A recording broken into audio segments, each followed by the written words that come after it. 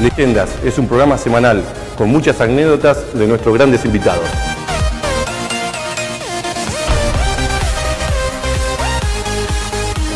Nuestro hilo conductor es la no violencia en los estadios. Que todos se enteren que el fútbol no es violencia.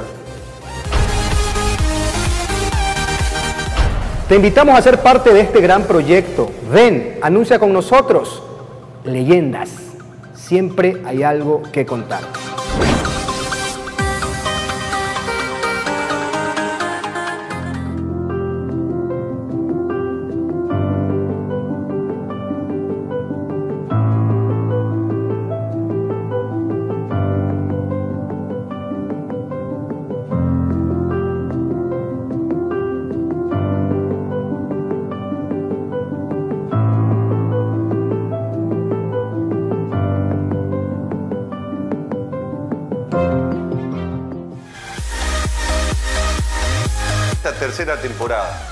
Leyendas, tiemblen porque volvimos. ¿Y qué pasa? Calladito, mucho burro también en el así. Con nuestros grandes invitados. Porque el fútbol no es violencia. ¿Y por qué no te sonreís? Porque la perdí, ¿qué quiere que le... ¿A qué quiere que celebre? ¿Y cuál negrito de ton? Uno que ya camina así. Para mí es un orgullo y una gran satisfacción de eso, de compartir momentos especiales.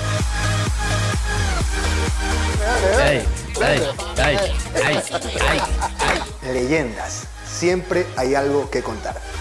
muchas cosas más que contar. Para la próxima, continuará.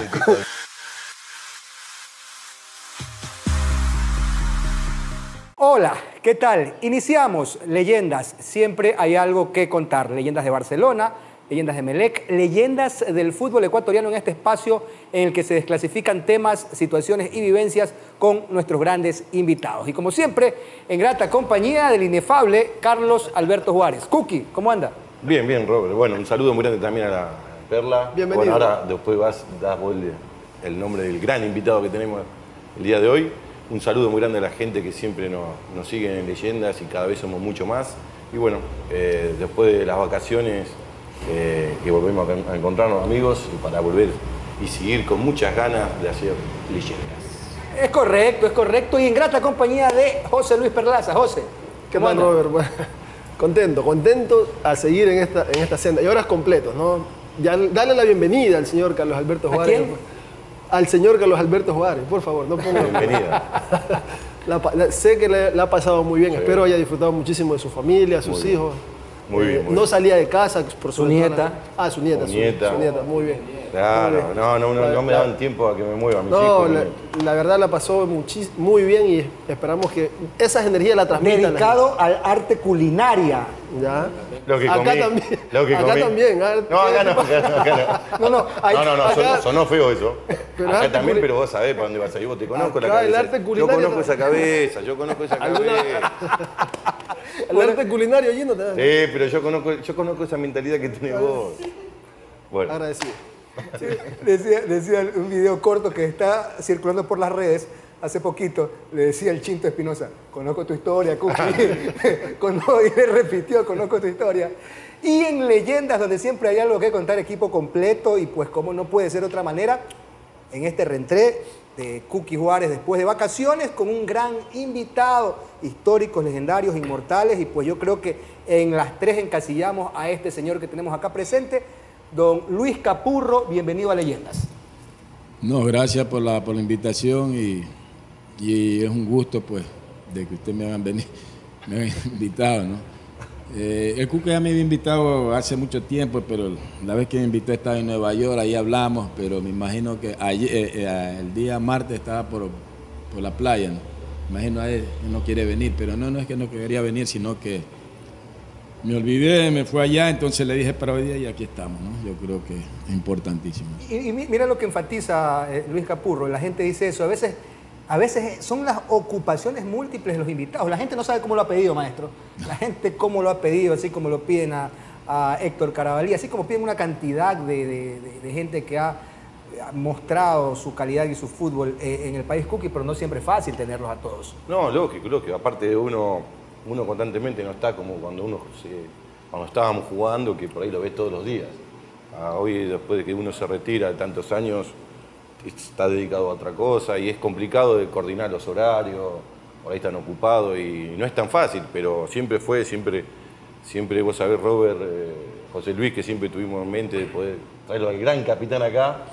Y bueno, hasta que el día se dio, como les dijo Capu, el otro día estuvo complicado y nosotros lo entendimos y bueno, el día de hoy estuvo acá, así que hay que, hay que aprovecharlo y, y que cuente todas las anécdotas que debe tener. No, las anécdotas las Capurro. tiene usted, yo no tengo ni una. las anécdotas son suyas. No, no, pero Antes de tenés, prender la- antes de prender la que prenda las luces había una, había una que Ti, estaba ti, contando. ti, ti. José, No, siempre, siempre va a ser bueno traer eh, no, el representante, creo, de- del fútbol eh, moderno, ¿no? De- Desde el Capurro para acá la gente eh, transmitió todo eso, ¿no? La- las ganas, el deseo y un hombre que nunca, nunca se dio por vencido en un campo de juego. ¿no? Y para nosotros como, como hoy exfutbolistas eh, es un placer tenerlo, tenerlo acá y mostrarle a la, a la gente, a los, a los nuevos muchachos, quién es Luis Enrique Capurro. Aparte, perdón, perdón, Sí. aparte en su momento fue el mejor lateral de, de- de Sudamérica. Así que bueno, hay que aprovecharlo. Cuando vi eso, eso, es chévere, ¿no? Restos de América versus restos de Europa que se perdió y nunca más. Y la- Bueno, yo pienso que sí, mira, cuando o sea, yo salí a jugar al el profesionalismo en Filambanco, el primer año que yo salgo y debuto en primera, ese año me llaman a la selección. Que fue la Copa América en el año 87, en Argentina, que ahí quedé nominado el mejor lateral de América y en el 93 que hicimos la Copa América acá en, Ecuador, también por segunda ocasión. Entonces yo creo que es un privilegio para mí de que me hayan tomado en cuenta porque yo era un muchacho que recién salía novato. Ya, mucha gente estaba en contra mío de, de que por qué me llevaban a la selección, que era joven. Mira, anteriormente jugaba la gente de experiencia, ahora juega la gente al revés, la gente joven. Pero en esa época habían laterales como Claudio Alchíbaro, o sea, no estoy menospreciando. Otros estaban por delante mío, entonces, pero tú sabes que aquí en nuestro medio hay periodistas que son barcelonistas. Donde decía que yo lo escuché a Piquito, ya yo no tengo pelos en la lengua para decirlo. Yo me acuerdo que iba en un taxi y dije, no, si el señor Capurro creo que Claudio Alchíbaro es más marcador que él y que tiene que estar él ahí, no yo. Ya, pero a raíz que a nosotros nos llevan a los tres más jóvenes era Olger Quiñones, el tractor preciado y mi persona. Que aquí vino el entrenador Antoniño, que, que para descanse ya murió él. No, no. Aquí no viene nadie más, ellos se quedan. Ahí nosotros fuimos a la selección, entonces desde ahí yo comencé. Pero antes era difícil, difícil jugar en la, en la- en la selección y en equipos así de como Barcelona, MLE, porque jugaba la gente de experiencia, gente ya con... lo- Era muy que- difícil. es lo que yo vengo recalcando siempre yo. Que antes, antes era muy difícil jugar en primera división. Porque tenías muchos jugadores ya con experiencia, jugadores grandes, no de 30 y pico, pero ya jugadores de 24, 25 años para arriba y con mucha experiencia. Y después un pibe de 17, 18 años se le hacía muy difícil.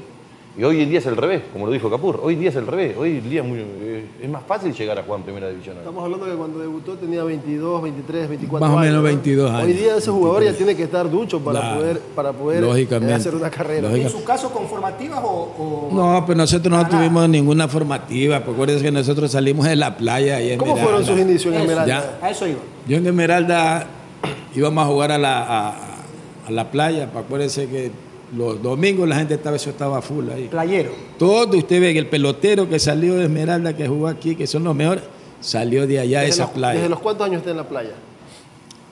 Tendría unos 14, 15 años. 15 años. ¿no? Y, y de ahí salimos nosotros.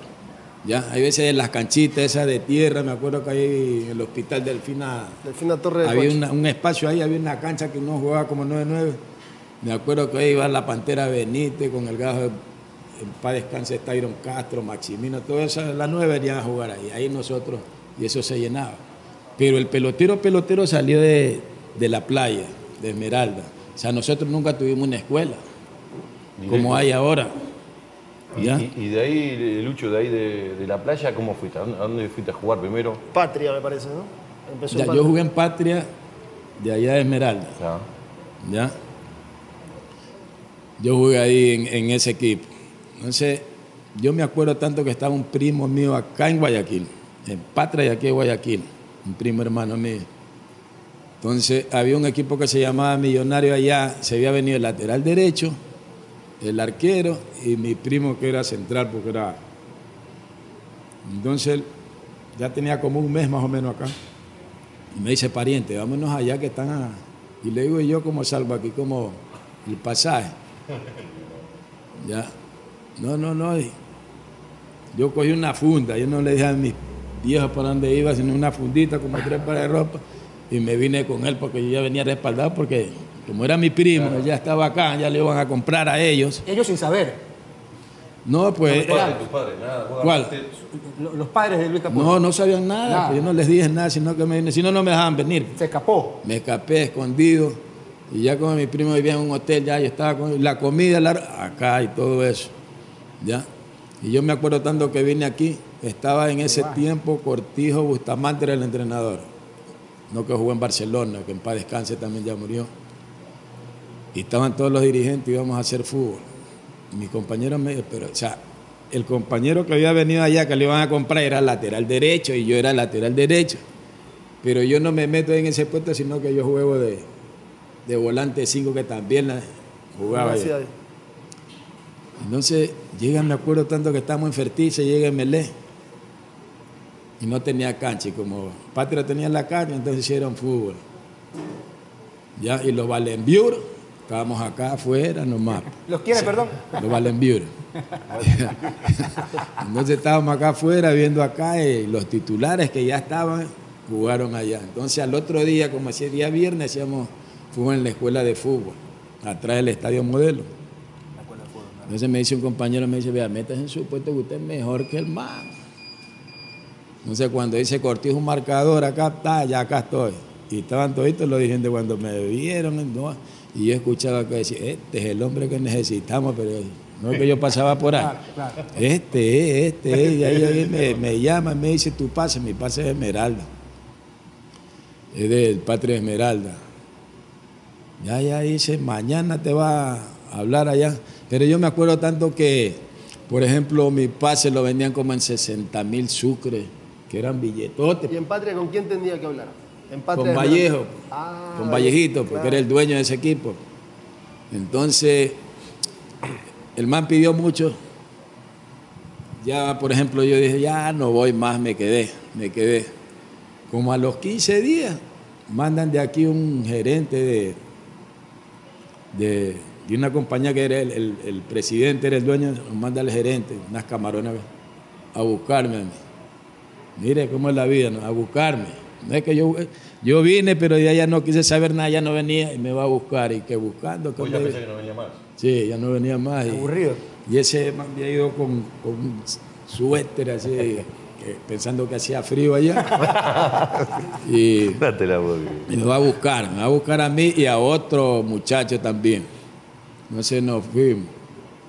Y dice el man, oye, ¿y a dónde que, que venden esa comida? Porque ustedes comen aquí, ese encocado. Lo, llevamos a la playa allá a comer ceviche, ahí en los bar que había en la playa. Y la gente estaba jugando y le tomémonos unas bielitas. Pues. Compró como tres bielas. Bueno, nos vamos a las 2 de la tarde. Pero yo salí, es prestado de allá. ya, prestaron el pase, ahí salí yo. ¿Y ahí, y ahí tus padres? Tampoco momento, te digo que no sabían nada. No, no, pero cuando vos regresaste, ¿qué te...? Ya, pues ya estaban contentos, pero ahí ya me vine otra vez, ya no sabían nada para dónde me había ido. Todo el tiempo eh, a la escondida. A la escondida, porque No, pero cuando te, te- es te que, escapaste la primera vez, cuando regresaste, ¿qué te dijeron ahí?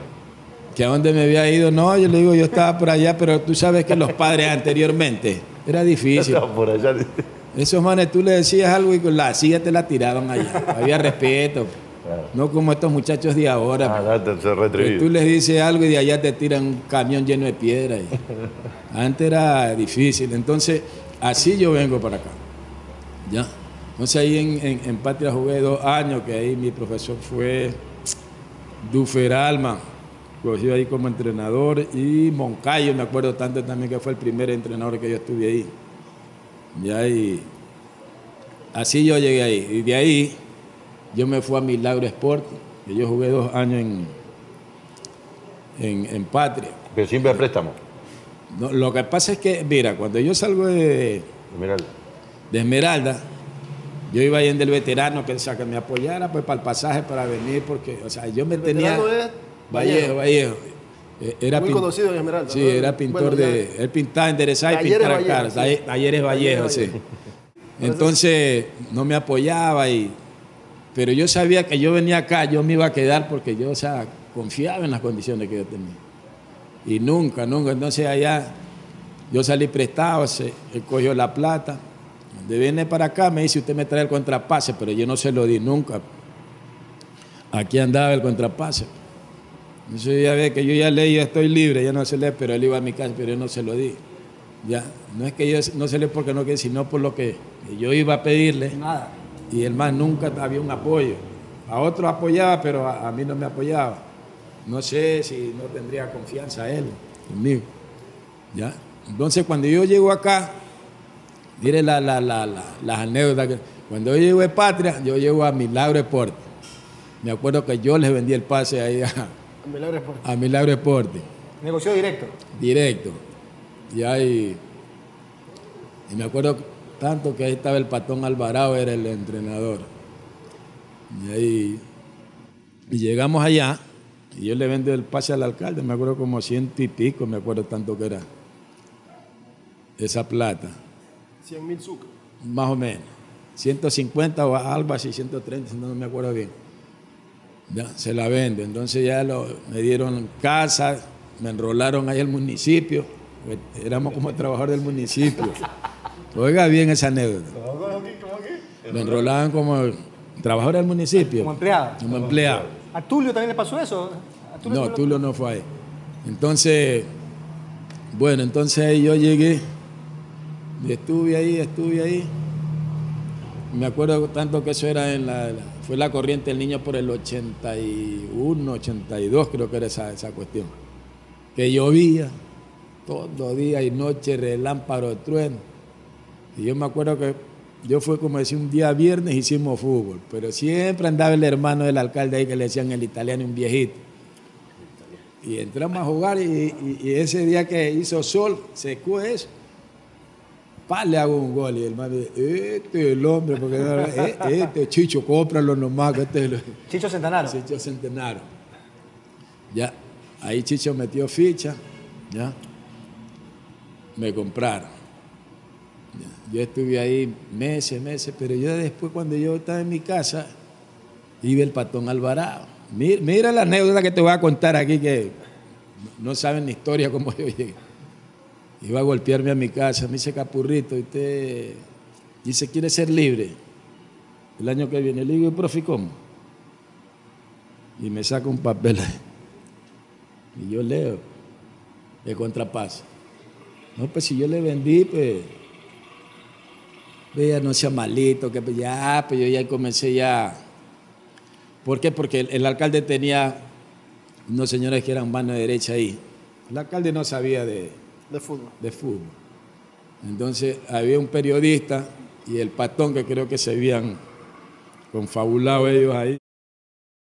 Entonces es como que yo le diga, Cookie, vamos a inscribir este, este jugador, entonces tú firmabas nomás, la hoja en blanco, y esos manes ta, a A su gusto y antojo, claro. Yo le digo, profe, no, no, no, yo esa nota yo no he hecho nunca.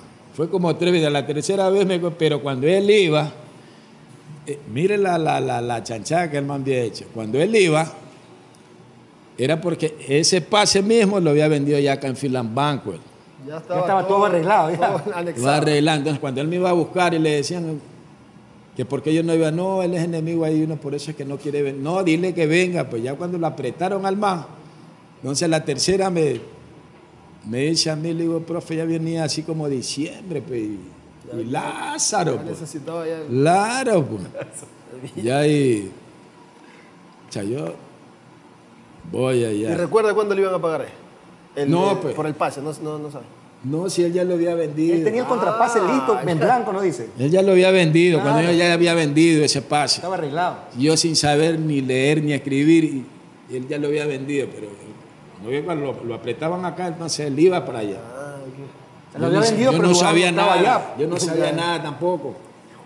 Cuando yo llego ahí, me lo encuentro a, a Don H. Pariente, pues, no, vayan nomás pariente que aquí es todo El bien. difunto. eh, No, el otro, Vilma, Vilma. Yo que jugué central. Ya, yo subo. Veo ahí a- al vicepresidente, a, a Ochoa. Ah, 120, dice. Me había vendido en 120. O sea, que yo me llevaba los 100 y el man los 20. Pero ya viéndolo bien, ya después, viéndolo... Bueno, ¿y cuánto que me ha vendido este hermano? El man le habían dado como 500 mil sucres. Pero bueno, yo como estaba acá, o sea, no le hice... Pero él andaba por los techos ya. pues.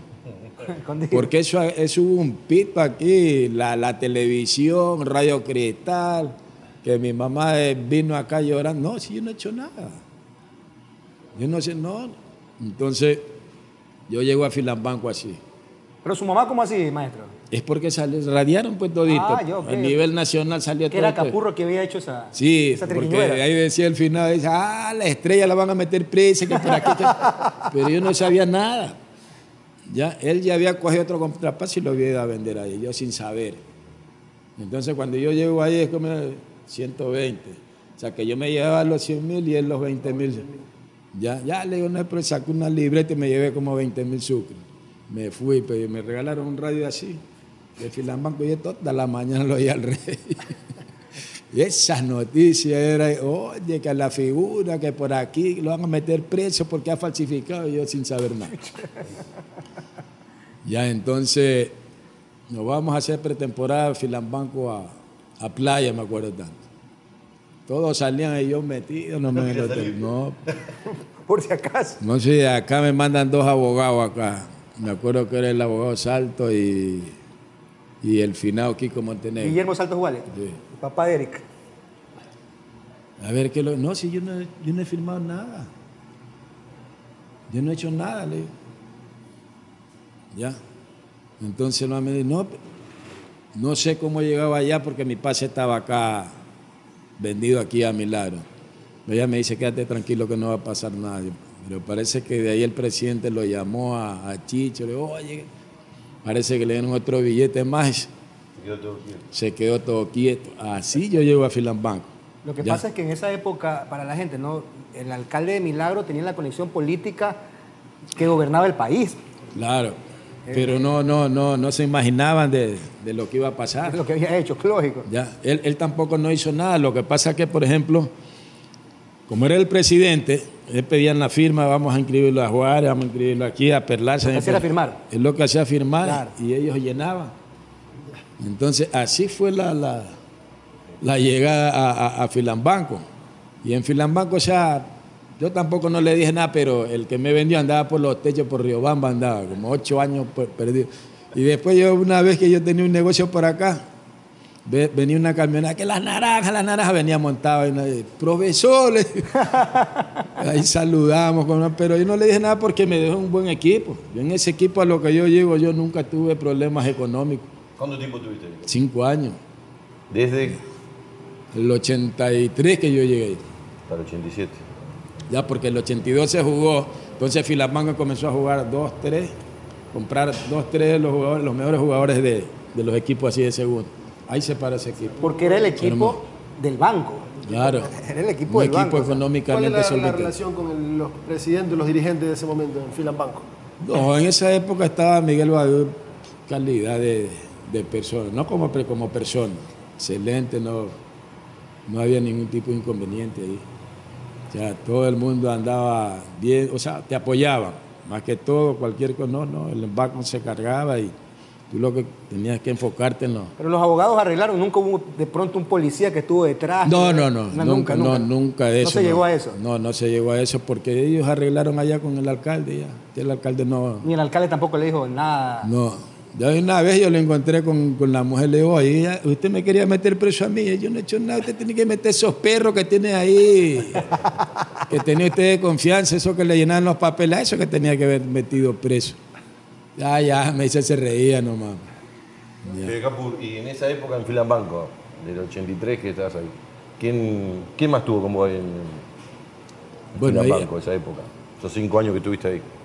No, pues ahí Filambanco armó un equipazo, pero ahí estaba, me acuerdo, estaba Freddy Bravo, los dos Bravos, Cholo Bravo, estaba Marcelo Hurtado, Cubi, estaba Noé Macedo, estaba un tal Alonso que llevó un paraguayo, creo que era, Aparicio, estaba Macario, Cetre, Zapatón, Valencia, Pablo Cera, bueno, un equipo respetado. Gianni, eh, no, este, Alcides. Alcide llegó cuando yo ya salí de ahí, ahí llegó Alcide. Y después de ese lateral que era por derecha, que escuchaba a los dirigentes, ¿cómo así llegó al lado izquierdo? Bueno, al lado izquierdo yo llegué, cuando yo llego a Filambanco, estaba el profe Eduardo Macías, no sé si lo conoce. Entonces me acuerdo que andaba marcando el petizo Santillán, uno que jugó en Melé, que es Milagro, cuñado de Cubi. Entonces Ciro. yo, Ciro Santillán. Entonces yo llego ahí y él andaba de titular. Entonces me acuerdo tanto que, pero yo andaba en la banca, me acuerdo tanto que jugamos con América y América nos ganó 1-0 allá.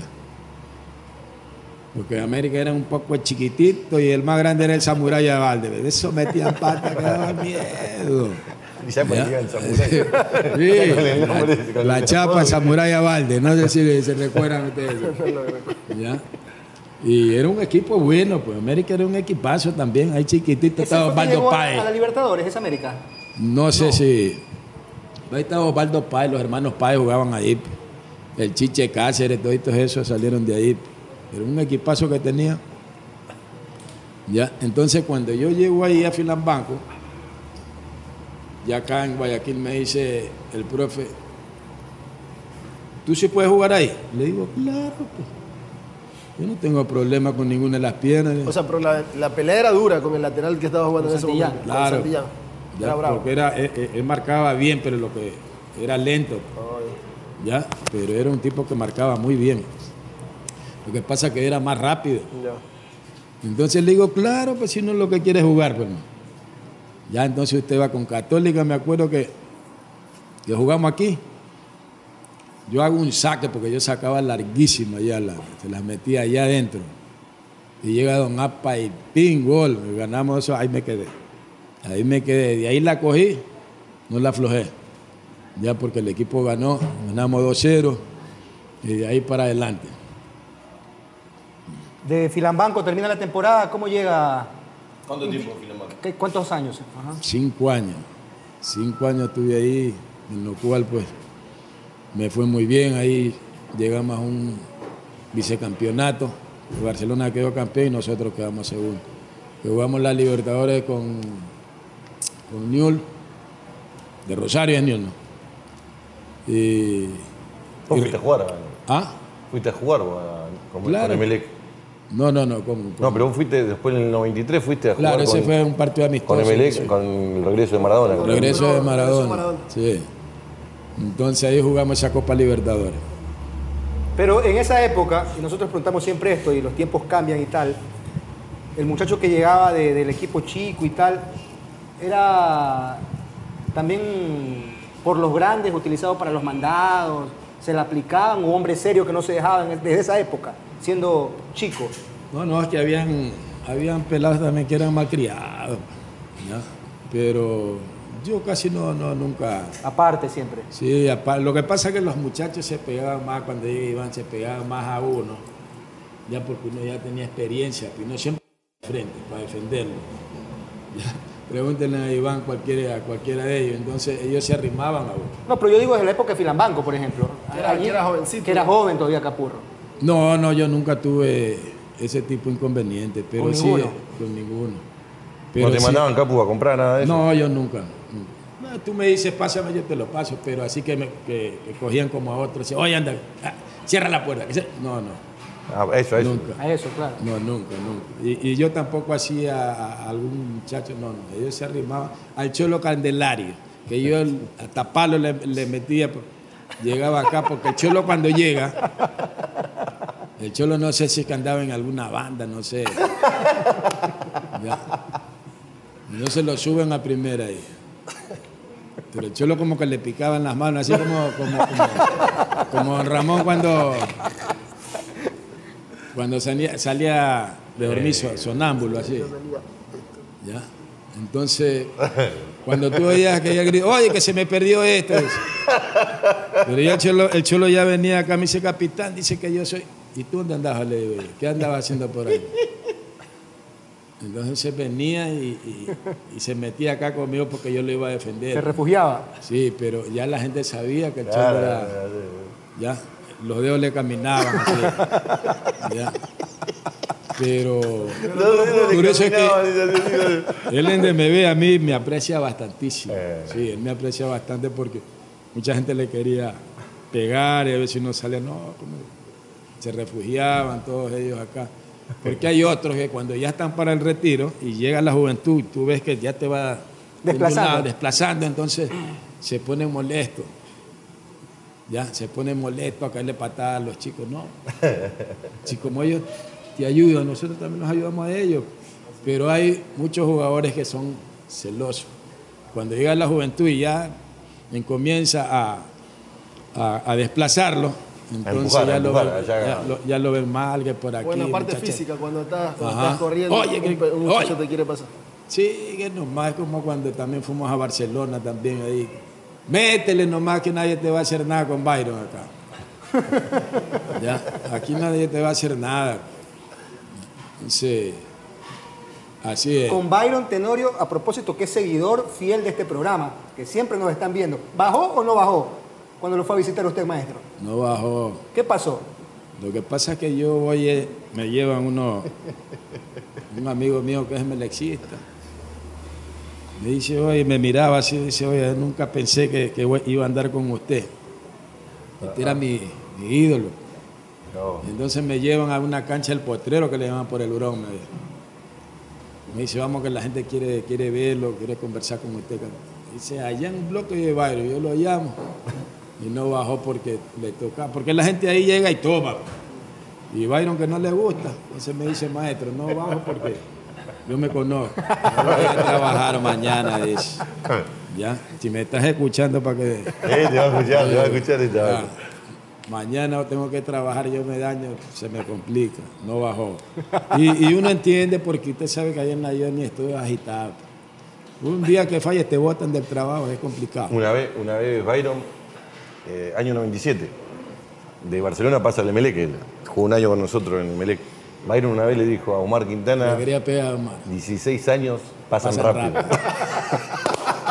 ¿Y a quién fue que llamó que le dijo, oye viejo? Le dice al guardaespaldas, pues, defiéndeme que este me quiere Me pegar. quiere matar, me quiere matar, empezó a, gritar No, Quintana. Omar era terrible también.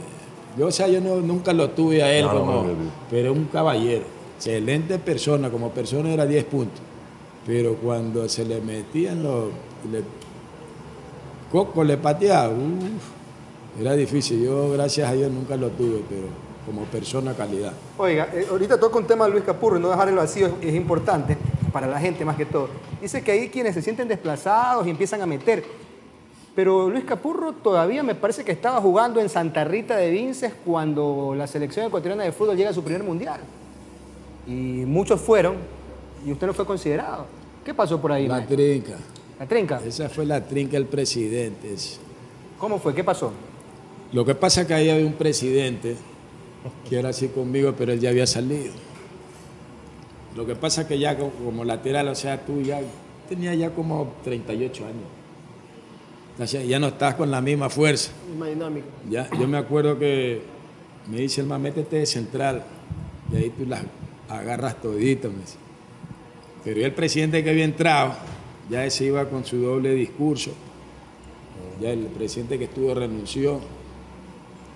No sé, yo me acuerdo que estaba en liga.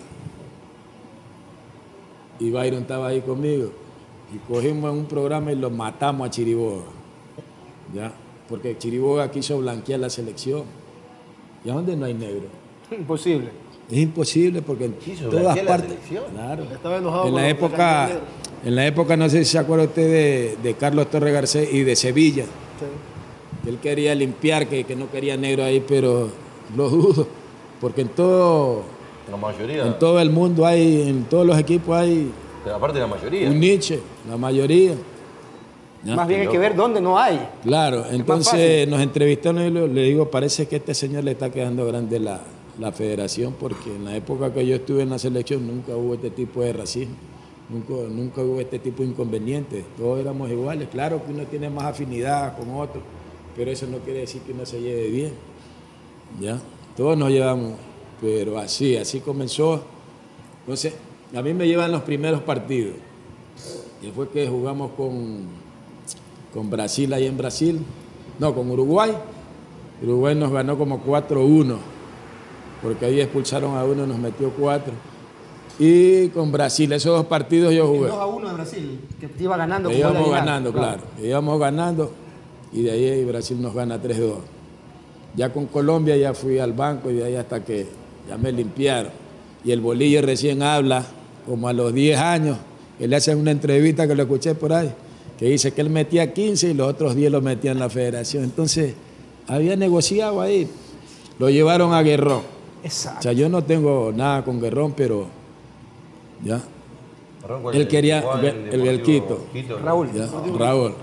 Lo llevan a Guerrón, pero eso fue ya confabulado por el, por el presidente, porque como le dimos duro, entonces ese, ese- lo sacamos de que esos negros, porque el man así trataba. Y yo lo escuché, Sí, no es que pero lo Guerrón escuché- es blanco. No, Pero era del Quito. era el del Quito. Yo me Pero acuerdo- entonces, Ah, que, pero que hable con propiedad. color, no es por el claro. color. Yo me acuerdo tanto que una vez yo estábamos, nos había llevado Maturana a ver allá el Olímpico Atahualpa, partido ahí. La selección estábamos viendo el partido. Y ellos iban adelante, Chiriboga y otros tres, cuatro más iban adelante. Nosotros aquí atrás, pero iban hablando. Dice, a estos negros no les pague y vas a ver cómo. Y ya, era racista, que hablaba de los negros. Y de los negros se sirvió. ¿Cuántos años tuvo en la, en la, en la, en la presidencia? Como 15 años creo. que. ¿Ya? Pero mira, la vida le da sorpresa. Mira con lo que salió. Pero afectó no haber ido a ese mundial. eh? Claro, pues, no es que yo iba a jugar el mundial, pero Estar ahí. estar ahí por lo menos, a jugar que sea 20 minutos y Era cerrar un ciclo nada más. importantísimo. Ya, pero el bolillo habla de que, que él metía 15 y los 10 se los metía. Entonces, ¿Su relación con Bolillo cómo era? No, Bolivia era un bacán ese güey. Ese man era un, un bacán porque tú llegas y a veces no es necesario la plata, sino lo- el entorno que tú tienes con el entrenador, los jugadores. ¿ya? Bolivia era un tipo que iba a pelear contigo. Vamos a pelear, muchachos. ¿Ya? Entonces, ¿hasta qué jugador? Tú viendo que el entrenador pelea por ti. Y no se va a matar ahí. Se mata pues en la cancha. Pero Maturana era un man tipo con terno acá, medio aniñado. Y ya, pues, yo me boté de la selección por esa misma nota, que Maturana no defendía a nadie. Ustedes no sabían ustedes que yo me le boté, que veníamos de una veníamos de una Copa América de allá de, de Uruguay, en la frontera Uruguay. ¿Cómo se llama allá? Pensando eso, ¿no? ¿Hay eventos? No. Bueno, ahí, ahí hubo una Copa. América. ¿Qué año fue la última Copa América en Uruguay? Eh, Chuy, Chuy. 89, ¿no? Bueno, algo así, No, eh, no, de no. frontera entre Brasil y esa. Bueno, nos tocó tirar carro como cinco horas de allá. Llegamos a Brasil en avión, como dos horas en auto por allá. Yo terminé, ¿sabe qué, profe? No vengo más. Porque yo ya me había dado cuenta, Maturana no peleaba por nadie. Pero vea, mijo, ¿usted qué va? No, profe, no vengo más. Se acabó esto. No peleaba por nadie. Entonces, cuando tú te das cuenta que tú no peleas por la, por, por la gente que por está en tu- gente, tu claro. entorno, Claro. entonces no pasa nada, pero tú estás peleando es para ti, tu plata, ¿no? Si a veces no es la plata, sino la, la ¿cómo se dice? La, la unión, La buena convivencia. la buena, la buena convivencia de entrenador, jugadores, ¿ya? Si tú tienes una, un buen léxico, un buen verbo, no es necesario que traigas el mejor técnico del mundo, sino saberle llegar al jugador y tú convences. Y Bolillo era un tipo que, vamos para el frente, a mi viejo, le digo, profe, viene la familia, vaya. ¿A qué hora viene? A la hora, a las 10, ahí está a las 10. Entonces, tú te vas ganando la confianza de- del entrenador. ¿ya? Pero cuando tú sales a la cancha, puta, era un, Era un soldado. Pero sin embargo se dejó. Claro, pues, pero eso nadie sabía. Recién lo tirado en Colombia como a los 10 años. Entonces como que el discurso no fue completo. Claro. No, no, pero, o sea, de ir al frente, defenderte, Bolillo estaba ahí. No sé, es un tipo que sabe llegarle al personal, sabe llegarle al jugador. Entonces eso es bueno. Ya, y tú ibas al frente con Me acuerdo una vez que estaba yo peleando, no, no es que por la plata, sino una vez que habíamos trabajado como 15 días. Y dijeron, después cuando regresen, ahí se les paga eso. Entramos como al mes, o sea, nos pagan cuando recién entramos y lo que ya hemos trabajado nos pagan. Entonces me dice Ceballito, capitán, tus manes no nos están pagando la- los 15 días que trabajamos. Y ya cobró usted, sí, aquí está. Vaya, deje ese cheque ahí, le digo yo. Metimos a pelear allá. Yo creo, me acuerdo que lo llevé a Iván. Habíamos como unos cinco. Vénganse acá para que ustedes vayan aprendiendo. Van aprendiendo de cuando este, sí. Metíamos a la gente joven. Ya. Entonces, una, dos de la mañana, este lo dice el profesor Matgaca Purro. Vaya a dormir mañana arreglar eso, mi hijo. Profe, le digo, usted no sabe cómo son los dirigentes aquí. Los dirigentes hay que ir con, con combo, con, con, con pico a tirarle la puerta abajo para que lo atienda. Déjenos nomás aquí que nosotros arreglamos esto. Estaba Rollero, me acuerdo tanto. Dije que no le... Sí, no nos han pagado. Pues nosotros trabajamos 15 días y no nos han pagado. Vienen a pagar desde cuando entramos ese, esa planta. Bueno, creo que habían vendido todito, el estadio estaba lleno porque jugamos con Argentina, creo que jugamos. Ya mañana está la plata ahí. De mañanita ahí con ese ataque. Ah, vamos, fuimos allá a Argentina, bum, bum, bum, bum, lo reventamos a Argentina ahí. ¿Ya? Entonces, esas son las convivencias. ¿Ya? El entrenador tiene que saber llegar, tiene que saber eh, llegarle al jugador y ese jugador tú ya lo convences, olvídate que está acá, ese equipo camina. Y el problema es que a veces el dirigente toma represalias, ¿no? Me parece que le pasó en Emelega a usted. Lo, lo- le tocó irse a Argentina por algo parecido. Mira, yo, mucha gente no sabe, mucha, aquí, la, aquí la voy a decir. Un, un toquecito antes, perdón, Robert. Eh, de, de- bueno, de Filambanco Ya, al pues, Emelec. ¿Qué año? ¿Qué año? En el, a ver, yo llegué a Melé en el 89, llegué a Melé. Y me acuerdo tanto que. Me, me acuerdo tanto que me, me compraron como en 33 millones de sucre. 33 Era el jugador más caro así en esa época. Nací Nemel que está, me compró. Yo llego en el 89. El año que, que llegábamos a Melé éramos, íbamos a ser largo campeón. Pero Barcelona jugaba con el Deportivo Quito en Quito. Nosotros acá, nosotros con el empate estábamos ahí. Y me acuerdo tanto que iba perdiendo Barcelona. Y, la gente invade ya faltando como unos tres minutos, cuatro minutos. Pero Rodo hace acá que, que terminaba el partido porque la gente estaba invadiendo y por ahí se la lleva Argüello, pa, pa, pa, pa, la metieron, qué gol, qué gol, qué gol. Entonces ese campeonato Barcelona lo ganó en el tapete y nosotros quedamos vicecampeón ese año con, con MLE. ¿Ya? En MLE tuve ocho años, Ocho años. ocho años estuve ahí, ya, y en lo cual pues, que creo que ese equipo me llevó a la, a la palestra, ¿no? De, de- de mostrarme como jugador y como, como persona, ¿no? Yo creo que mi, mi juventud se la debo a, a MLE. Yo a MLE llegué como con 27 años y por ahí los periodistas dicen, no, que ya está viejo. Que no". Para que tú hayas jugado 8 años no quiere decir que quiere decir que tu rendimiento ha sido normal. Porque tú juegas un año, dos años y te votan. Pero estuve 8 años que no querían ni vender. Acuérdate bien que antes las plan- plantillas terminaban y no querían vender a nadie, querían tener esa base. Pero ahora como todo es negocio, un negociado del fútbol, 17, 18 años ya te lo están vendiendo. Y ahí es cuando decía usted, le hacen esa jugada que la gente no lo sabe y que lo va Ah, a contar ya. acá. Entonces mucha gente piensa que yo me fui de Melé. Y de aquí yo se la voy a contar. No, a mí me sacaron de Melé. O sea, a mí me llevan a Argentina con engaño. Entonces yo llego allá a Argentina, ya, con engaño. Me acuerdo que llegué ahí a... Año 96. 96, sí. Llegué allá, pero qué va que yo, a lo que yo llego allá, Brindisi sale. Lo llevan al Coco Basile Racing Club. a Racing Club. Entonces, me acuerdo que habían unos entrenadores de acá, Valenzuela y el otro, un veterano que se cortó aquí el tendón aquí, eran preparadores físicos en Racing. ¿Ya?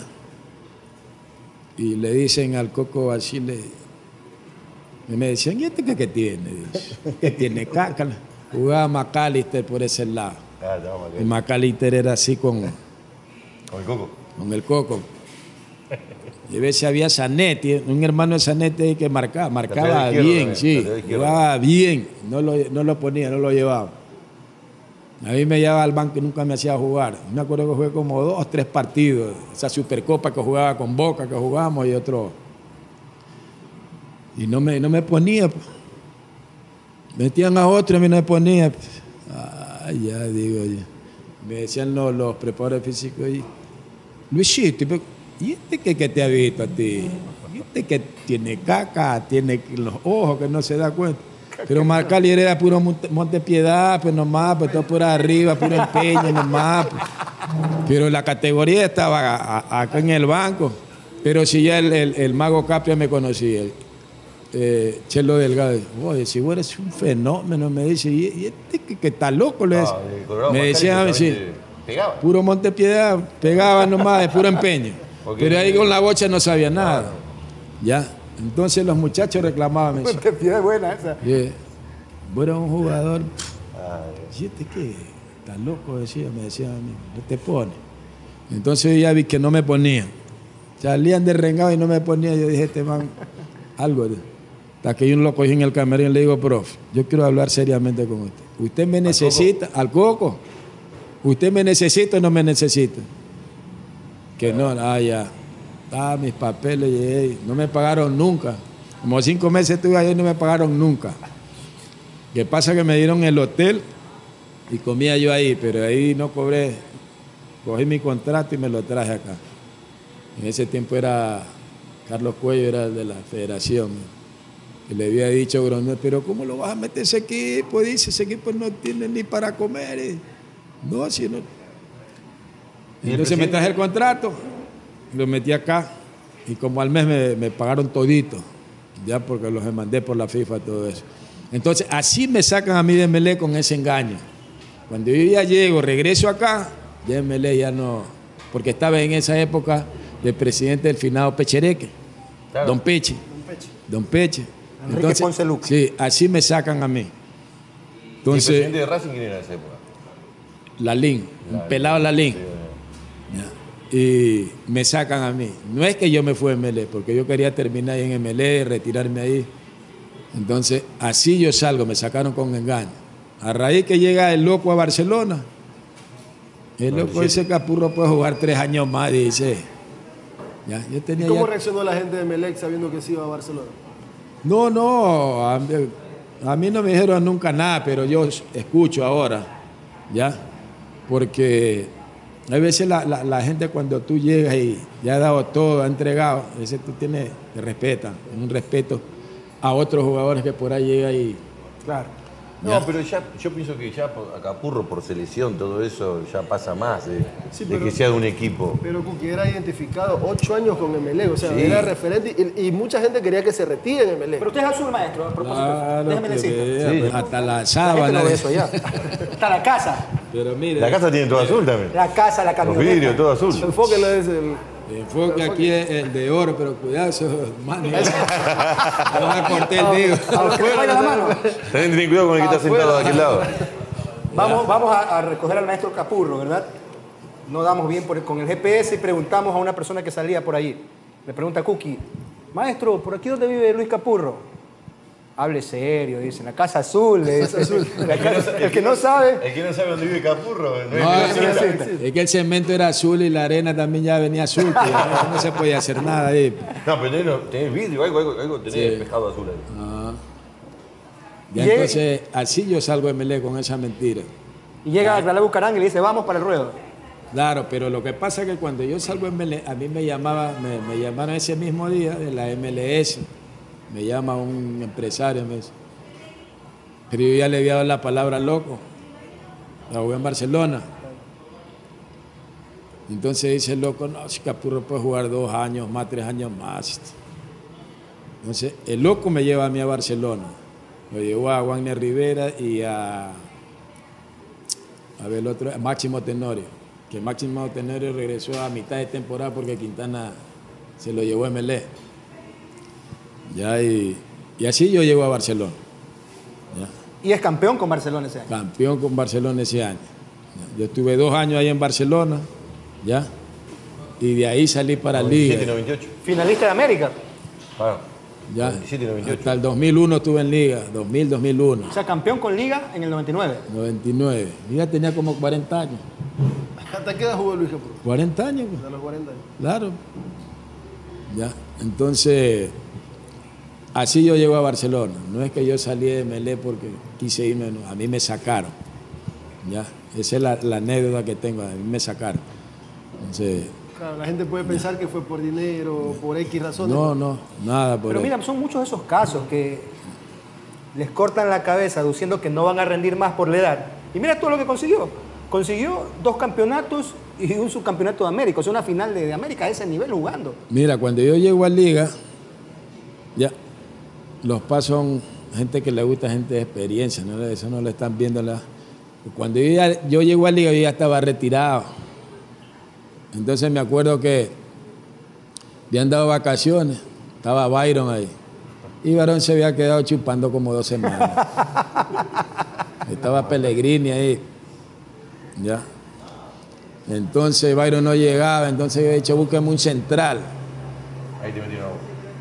Entonces me buscaron yo ya retirado. Esos manes ya habían hecho, por ejemplo, la pretemporada, están haciendo full. Y yo, dice Jacinto Espinosa, oye, vienes tú y traes lluvia, traes frío, de todo. Acá estaba haciendo sol y tú vienes. Yo iba haciendo fútbol, yo metido en ese complejo haciendo pretemporada solito. Cuando recibe, llega y aparece. Ya, Así yo fui a Liga. Yo llego ahí, estaba Pellegrini, que Pellegrini ahí estaba dando sus primeros pasos en Liga. De Liga se fue a River. Ya, En Liga estuve dos años, y querían que yo siguiera jugando, Pero pero siempre yo... regular en Liga, a pesar Claro, de la... ¿Parte claro. del descenso también o no, maestro? No, el descenso me acuerdo bien que yo estaba con, con amarilla, creo que estaba con cuatro amarillas. Pero en ese año sí estaba. Sí estaba. Parte de la plantilla. Año 2000, claro. O sea, no jugué ese partido, eh, fue con Olmedo. No jugué, yo estaba acá en, en- en Guayaquil, pues me había venido, porque no podía jugar. Entonces digo, voy a prender el radio para ver cómo va, pues liga. Y cuando yo prendo el radio, dije 4 a 1, 4 a 0, iba No, perdiendo no, el liga. 3 a 2. 3 a 2. 3 a 2. Iba perdiendo el liga. ¡Ay! Se fue al descenso, dije yo. eso. Ya. Yo de ahí ya, ya no quise ir porque me llamaron que suba ya, ya no quise ir más. A jugar la B. ¿ya? Y, y siempre Liga ha quedado campeón con gente de experiencia. Si no están viendo la edad, porque cuando tú puedes y tienes condiciones que te, yo creo que no te impide. Ya cuando uno en verdad ya no puede, ahí uno solito tiene que decir, ¿sabe qué? Me Oiga, pero, pero usted fue parte entonces de una plantilla donde hemos tenido varios invitados. Se llegó a la final de la Copa Libertadores con un técnico que antes fue jugador y compañero de- del equipo, ¿Cuál fue eso? Rubén Darío Insúa. Hombre, los nombres que aquí los tengo cerquita. ¿Qué pasó? Ah, no, sí. No, no, es que en esa época, cuando, Murmuró primero. cuando llega... Cuando llega el loco, lo lleva a Capitano. Capitano, o sea, tuvo los primeros. Eh, año 97. Capitano tuvo la primera parte. Y ahí salió. ¿Ya? Y como el loco salió, porque él era presidente, salió de la presidencia de Barcelona, ya lo dejó al capitán Pulso. Entonces salió Capitano, salió el loco. Ahí cogió Capitán Pulso. Me acuerdo que lo llevó a, a Rubén Insúa en esa época, que recién creo que estaba comenzando. Y mire, con ese poco de viejo, ese poco de estrella que había ahí, ahí lo- los jovencitos eran Asensio, Mora, Gavica, el Team Delgado, por ahí otros ahí. Pero ahí eran toditos jugadores de experiencia, estaba eh, Pepo, estaba Ceballos, Raúl Avilés. Pipa, Raúl Avilés, Uqui- bueno, un gajo, pero... Echeverri también tuvo eso. ¿Ya? Y teníamos, claro, Echeverry, teníamos como cuatro Pipa. meses que no nos, el Pipa, ¿Cuatro ¿no? meses que qué? que no nos pagaba. Pero ese equipo quedó campeón así. Hay veces mucha gente dice que que no juegan por la plata. Eso es mentira, maestro. Usted ha jugado y aquí todos hemos jugado, eso es mentira. Usted cuando ya está ahí adentro se olvida de todo. Lo que pasa es que a veces las cosas no salen. Es Vos lógico. tuviste- vos tuviste Capu, eso fue en el 96, cuando jugamos en un clásico que también nos paramos, nosotros, porque nos habían como 4 o 5 meses. ¿O ya no estabas ¿Con quién ahí? era ese? ¿Con Ferma o con Quintana? No, no, no, con, con Ponce, con, el- con Peche. Claro, pues ahí fue que nos paramos. Nos paramos, jugamos dos clásicos en una semana, en el Monumental y en el Modelo. ¿Vos estabas ahí o ya No, te no, no, yo ya me había ido porque yo me fui a mitad del 96, me salí. Pero por eso no sé si era, no sé si ahí se fue Castelnoble, me parece. Claro, se fue a Castelnoble, o sea... y- ¿Vos te y- fuiste antes que se vaya a Castelnoble? Claro, antes. Ah, está, entonces no estaba. A Cerro Entonces no estaba. A Cerro Porteño, ¿en qué, ¿en qué año llega a Cerro Porteño? En el 93. Ahí ya con qué edad? ¿Ya estaba grande 33 también? años tenía. Ah, estaba en una buena edad todavía. Claro, entonces... ¿La estadía en Cerro Porteño? No, lindísimo. Lindo.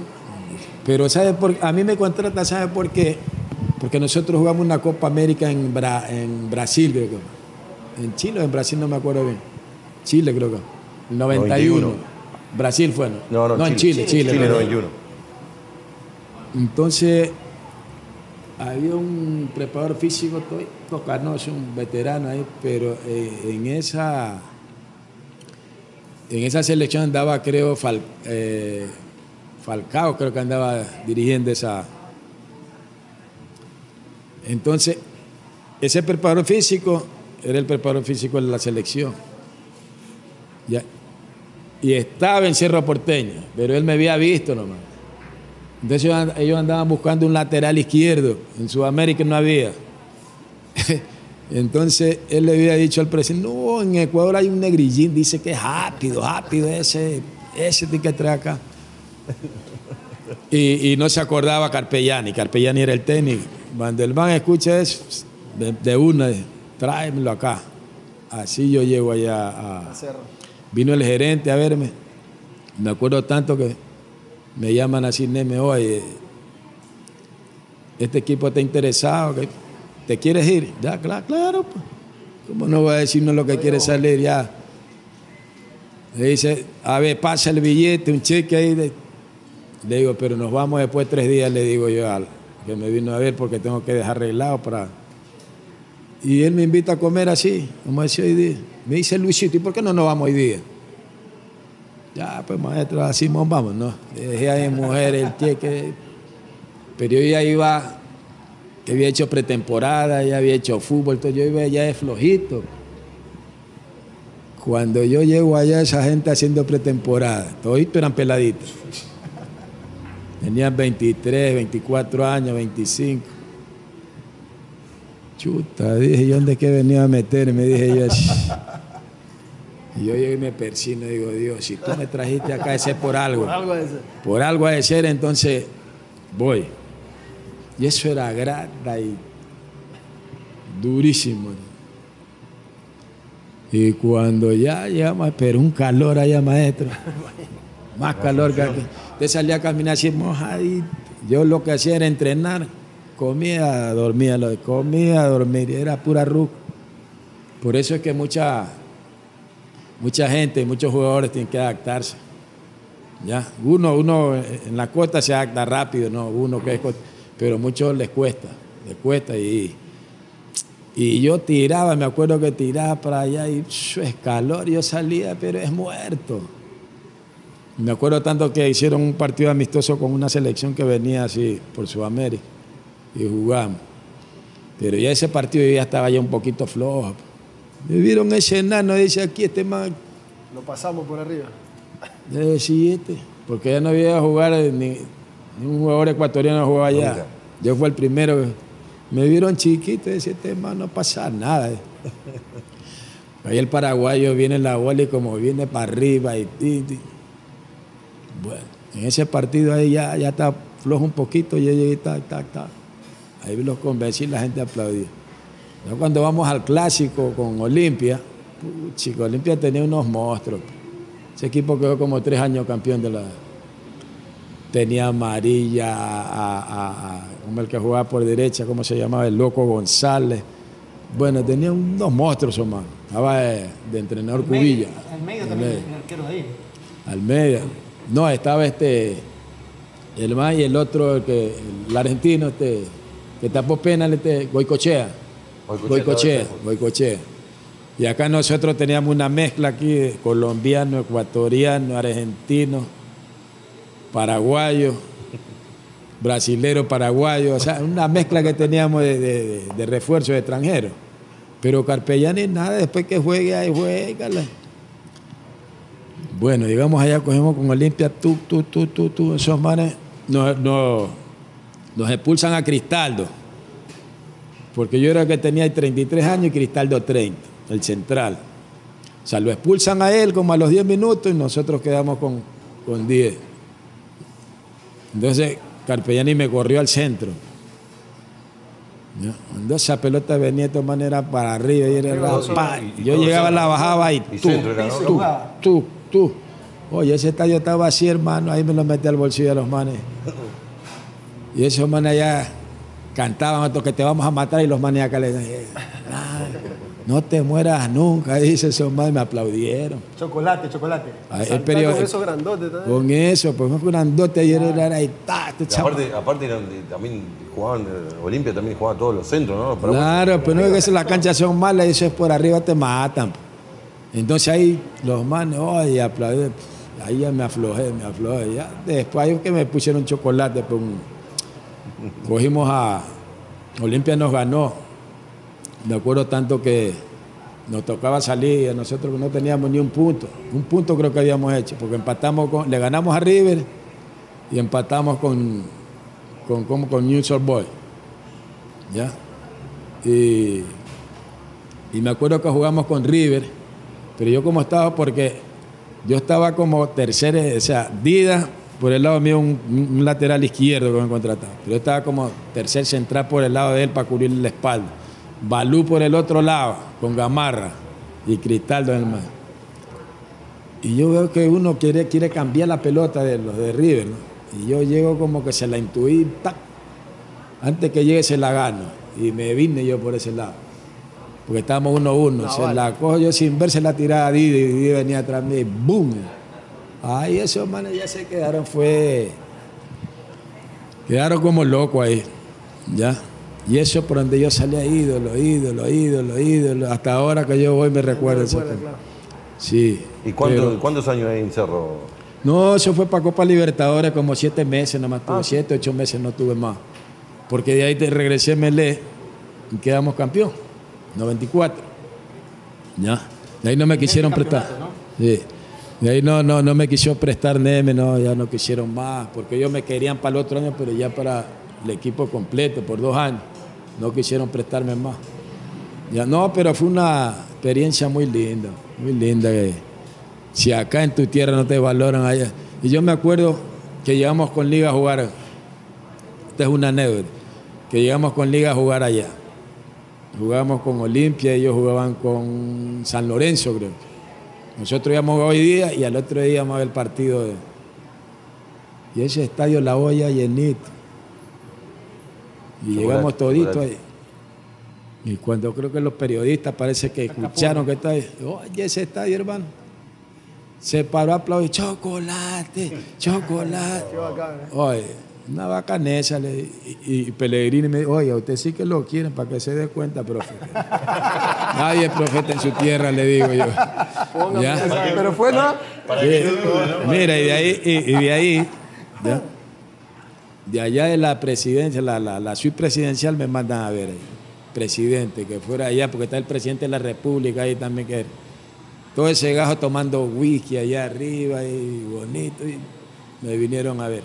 Me invitaron Chévere. con esos monstruos allá, imagínense. Por eso es que el fútbol es bonito porque te une, te une a la multitud. Pero usted, el valor que se le dio en Paraguay, siente que no es lo mismo que en Ecuador, de parte de los dirigentes, porque la gente... Eso yo. Eso iba a preguntar. Los dirigentes de acá se, te- se olvidan rapidito. Son ingratos los Son dirigentes. ingratos. Son ingratos porque ya cuando tú ya no ya dejas de jugar. No. Cuando vos ya no No, servís. no, no, está- estamos vivos, porque servimos para algo, No, pero cuando no, uno no, ya deja. El fútbol, fútbol. Claro, el fútbol ya es difícil, nadie se acuerda de ti. Ya entonces es Para ingrato. leyendas, precisamente. Claro, es, eh, es ingrato el fútbol, ¿no? mucha gente, tú sales a la calle, ahora acá me dice, maestro, me recuerdan bastante pero la juventud de ahora no. Ya. Pero la gente... Y federación como tal, la institución como tal. Por ahí recuerdo un fragmento de, de- de alguna nota, me parece, que estuvo en federación y vi un recorte pequeñito nada más de Luis Capurro. ¿Qué pasó? Por eso le digo la trinca. Ese, ese fue el museo que hizo Chiriboga. ¿Ya? Yo veo a Guinaga ahí, leyenda Guinaga, un póster grandote, pues así. Iván Hurtado también así, con la camiseta.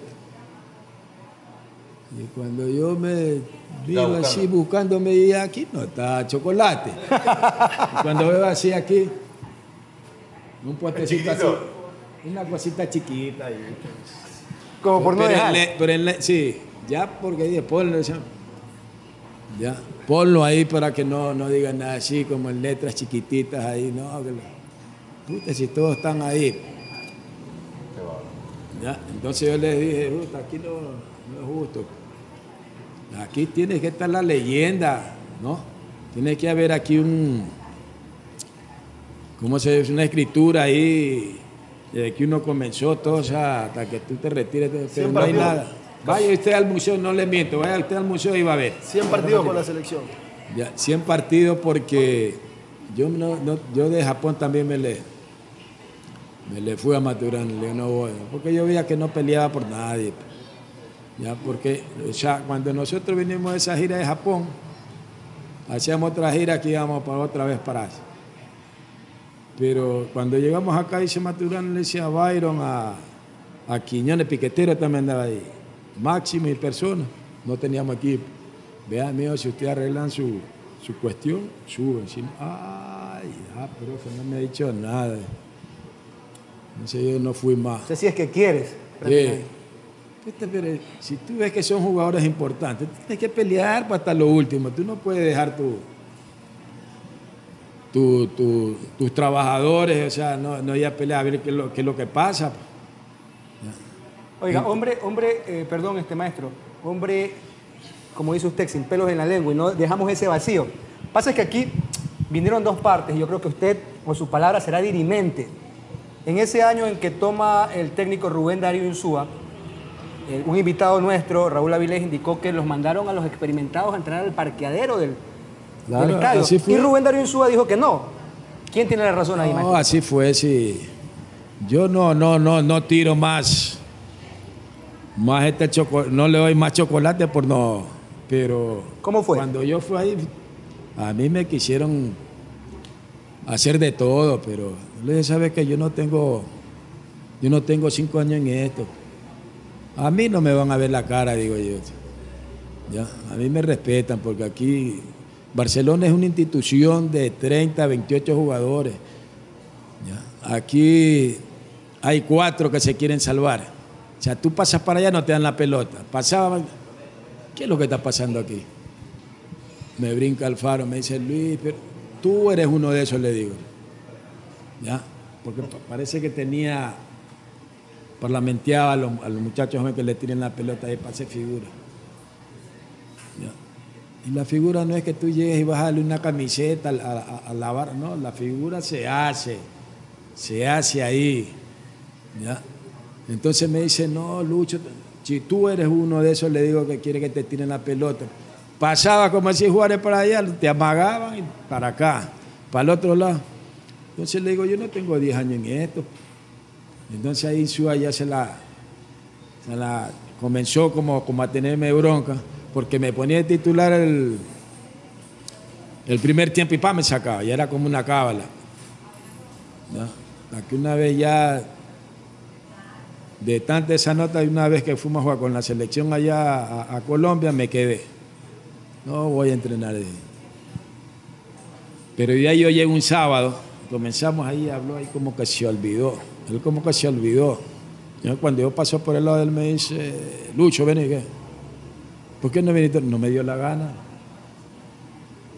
Porque ya estaba yo. No me dio la gana.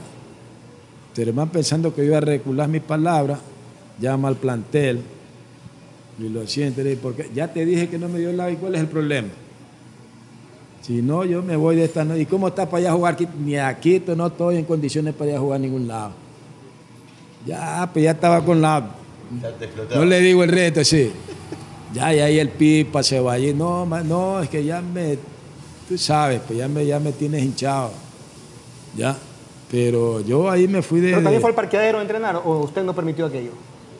No, no, no. Mandó a como a algunos jugadores, mandó ahí a Vilé, me acuerdo tanto, a, a, Uquilla, a otros más por ahí. Ya, pero con Pupo. Con Pupo ahí. Entonces, tú no puedes hacer eso, ¿por qué? Porque, porque tú también fuiste jugador y tú sabes la, la, la, la, la, la, la- lo del jugador. Pues, ¿cómo te puedes mandar a, a entrenar una, a una pampa ahí de cemento? Si no los quiere, tú tienes que saber que ese es más franco, sincero, de saber que no los necesito y se acabó. Pero no es que te vas a sacar y mandarte a entrenar. Y, no, con lo que dijo. Raúl es la verdad, y con, Pupo. ¿Ya? Entonces eso no se hace. Entonces, eh, podré decir muchas cosas aquí, pero uno la vivió. Yo la viví ahí. ¿Ya? Entonces yo, yo salí al frente, yo le digo, a mí no me van a venir a hacer trinca aquí. ¿Ya? Que aquí si yo no juego, no juega ninguno, hijo de puta, le digo. Pero ya después esa pelota, y, ah, y ahí, y ahí lo que estamos en el camerino así reunidos, que yo salté, saltó Máximo. Es lo que dice aquí eh, Capurro, dice, chino Goma, me ve que yo paso, vira y no me la da. Y yo voy a veces solito. ¿Qué es que yo tengo? Que tengo caca, tengo herida. Y digo, "Ma- no, no me da la pelota, te meto un puñete, le dice Máximo. Después esa pelota venía hasta de por gusto. No, es bravo, era Si bravo. trinca, José Luis, ¿cómo que no? Era, bueno, a la, la hora que llegó, ahora que llegó usted no, pero tú ves en MLE cuando la gente llega, todo el mundo se familiariza rapidito porque ese equipo no tiene no, no tiene maldad y tú ves que todo el mundo crece ahí rapidito porque se integra, pues, venga acá. Es que uno mismo, venga acá, intégrese acá. De ese equipo, sí, ¿dónde está? Pero cuando hay trin, ahí yo me acuerdo que llegó, a- el tanque llegó ahí en Barcelona, uh, metiéndola el tanque. Ya después viraban acá, llegaba ahí, no se la tiró. Llegó un paraguayo, me acuerdo tanto que jugamos un clásico en el, en el Capuel. No sé cómo se llamaba, que, que Alfaro hizo una jugada y metió los dos goles, hermano. Me venía, bajaba del avión y metió los dos goles. Después el man ya que las metía, después llegó, llegaba ya el Ravirán para otro lado. Se, se morían, se morían ahí. ¿Ya? Todos, todos eran grandes ya en esa época. Claro, Todos pues. eran gente grande. ¿Ya? Y, y se morían ahí en, en- ya, pero así te digo, son, son cosas que, que uno la ha vivido. ¿Ya? Y, esto para, para, para recordarlo, porque mucha gente no sabe, pero aquí es la única realidad, y es la única, y uno puede decir la verdad aquí. En la convivencia, en la química, un jugador con el que haya compartido. No, yo, Amigo, yo tu- con el tanque me llevaba bien, con el tanque ese nariz de pucho, ese de blandón también. Jimmy Roberto. Jimmy Roberto, la mierda blandón que le decía yo. Ese. No, no, yo tuve algunos, algunos, Iván, ¿ya? Hasta ahora, Su compadre, que en paz descanse, Carlos Luis Morales también. Carlos Luis. Bueno, yo tenía la- algunos que me llevaban muy bien. Y hasta ahora, porque tú ves el camerino ahora que estuvimos, toda esa figura, Smith, todo, todo, todo. O sea, y por ese, por ese lado no tenía inconveniente porque uno, cuando llega ese, tipo así, atrae a las personas, o sea, el entorno de uno para que todos se sientan bien y no haya ningún, tipo de celo, porque esto del fútbol a veces es muy celoso, ¿sí me entiendes? ¿Ya? Entonces, pero el fútbol ahora, ahora es una mafia, ¿ya? Está metida la mafia en el fútbol, ahora es, es negociado, es el billete. Entonces, como va evolucionando el tiempo, eh, así eh, va evolucionando el fútbol. Ya jugadores de 18 y 9 años están vendidos, lo venden rápido. Antes uno se añejaba ahí, pues se acuerdan que antes, que antes uno llegaba, no, que el pase es el del, del club.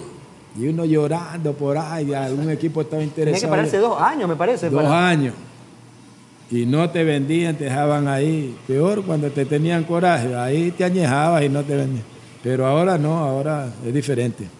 Las puertas abiertas en el Club Sport Emelec, este Luis. No, están cerradas ahorita, tengo que meterle la llave para que la ¿En serio? ¿Qué pasó? No, no nada, sino que no se puede ahí. No se puede. Ya eh, no sé, en otra ocasión que haya otra directiva, no sé, se, se- se podrá ir a... No se ha ido al estadio a observar un partido. No voy, yo no voy al estadio porque porque no, no me dejaron entrar como dos, tres veces. Y una, y una vez que, que yo voy ahí, Increíble, es increíble. ¿Quieres llenar la, la- en esa época la, la- la Toyota te invitaba para los S. Me habían dado una, una carta de invitación para allá en la suite. Y ese estadio así me acuerdo tanto, no sé con quién jugaba. Y yo me voy. Le digo, aquí está mi invitación. Aquí. No dice usted, yo no lo conozco, pero aquí está la invitación, que es la Toyota, la que organiza la, la, la Copa Yo Libertadores. usted no lo conozco. Estaba una chica ahí. Qué vergüenza, es una vergüenza. Oye, y eso como, como una se había quedado gente afuera. Oye, si él jugó aquí en MLE, ¿cómo no lo vas a dejar entrar? Eh, por aquí más. Tuvieron que llamarlo al ingeniero Mendoza, no sé si te acuerdas, el ingeniero Mendoza, el tesorero.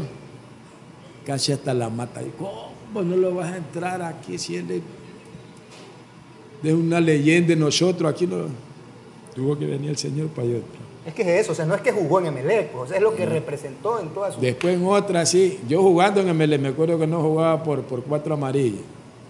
Y yo iba con mi familia, porque ya un poco el pelado veces al estadio. Yo compré las entradas, le digo, para que entren ustedes. Yo como juego aquí. Entraban todos menos. Entraban toditos menos yo. Estos manes me están viendo la cara, digo. Y, y en eso venía el finado Che Pérez con su, Hacía ruido ahí para mí. con su bombo y su gente. y pa, pa, pa. Y así entraban. Oh, a decir nuestro capitán, tiene que. No, no, no. Era un- era un señor de la federación que no me conocía y yo sí lo había visto. El Che Pérez tuvo que darme una entrada para Che entrar. Pérez lo hizo entrar. No. O sea, un poco más fue con la barra. Claro. Qué Pues iba ¿Y con hoy- la hoy barra. día? Iba- ¿ah? Hoy en día o lo. después, No voy, yo no voy. Ah, no. Yo voy si tú me invitas, alguien que me invite ahí, o que me inviten así Una como. suite puede ser. Sí, no, no, una suite a, cualquier lado que me te Ahora yo fui cuando jugué MLE con Independiente porque me invitó el La pres- final. eh, a llevar esa la copa. Ahí fui, pero yo no voy así. Invitado por Liga Pro, en realidad. Es Liga Pro, sí. Ya. Pero yo así nomás no voy. Yo, yo, mire, yo no jugué mucho tiempo en Barcelona. Yo llevo el estadio de Barcelona. Pasa. No. Pero un carnet de algo que lo identifique como Luis Capurro. en el Yo no dije, yo dije, yo no sé si te acuerdas cuando inauguraron la, la última vez. Sí, que estuvimos ahí. Estuvimos ahí. ¿no? Yo hablé con el presidente, le digo, presidente, él un carnet a la gente para que entre al estadio, porque uno viene, viene a pasar a ver. ¿Tú crees? No, Sí, me dice. Ya, ya, ya voy a hablar. No pasó. Me acuerdo que vino el flaco Verduga, coronel, coronel. Entonces, ya cuando se ven en esta situación que ya los apretan, el periodismo comenzó, oye, entonces llaman a una persona ahí para que haga una lista de lo del 80 para allá, para darte un carnet. Yo habiéndole dicho, no sé, hace mucho tiempo. Entonces, para que vayan a ver un carnet en entrada. Capu, y, a- y a- y en Barcelona, a ustedes, no, yo no sé si estoy equivocado, le dieron un carnet, ¿no? Sin uno pedir nada, nos dieron el carnet. Pero Mira, yo pregunto, mira. o sea, está bien en el universo de futbolistas que Es existe. increíble, es increíble. ¿verdad? Habrá quienes necesiten un carnet de la gente que jugó mucho tiempo y que no es tan reconocida. Claro. Pero Luis Capurro, pues, o sea, Es increíble. como se dice en, el, en el, eh, la jerga popular, pórtense serios. O sea, es, es- es Luis Capurro. O sea, Pero una cosa que yo la haya vivido y se la estoy contando aquí. Si yo no voy así nomás a los estadios, no voy. Si yo voy, compro mi entrada. Si aquí mismo también a lo que del Chucho Benítez. Estaba con mi hijo, le digo, vámonos, porque juega Barcelona y, y Guayaquil City. Ahí atrás en mi casa el estadio. Le digo, "Ah, vamos a ver ese partido ahí que estamos aquí. Yo compré la entrada, le digo. ¿ya? Yo compro para que, que entres tú. Y yo a ver si me dejan ahí entrar porque si- A jugármela. Estaba un chico, no, no, no, usted no puede entrar porque todos pagan, el, el- el- el pelado, todos tienen que pagar. Le digo, ñaño, pero uno, no, no, que el jefe está allá, pero yo iba con una gorra yo. No, que el, el pelado y todos tienen que pagar la entrada, le serio si los niños entran gratis siempre. En el chucho, claro, sí. No, que por aquí más acá, como 20, media hora ahí. Ya cuando me saco la gorra, el man ya me reconoce. Ay, maestro, maestro, entre nomás. Pero allá arriba yo por la radio los maté. pues.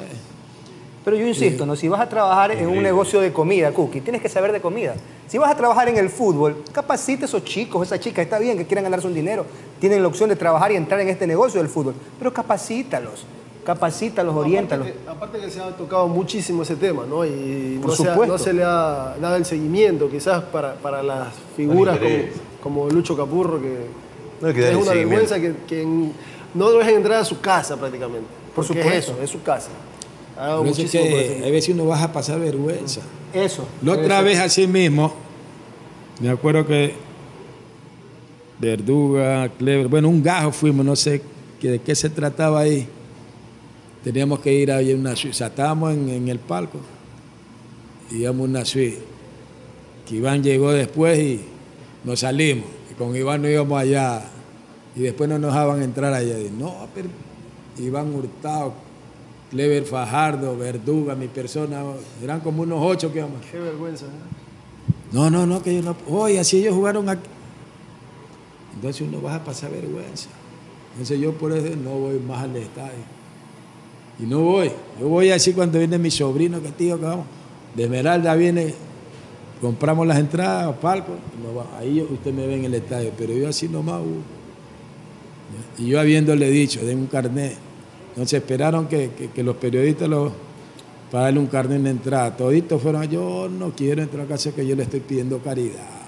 No, no, no es así. Es una lágrima. Claro, Es una lágrima. Una vergüenza. una vergüenza. Tú ves en otro lado, en el extranjero, se retiran esas figuras.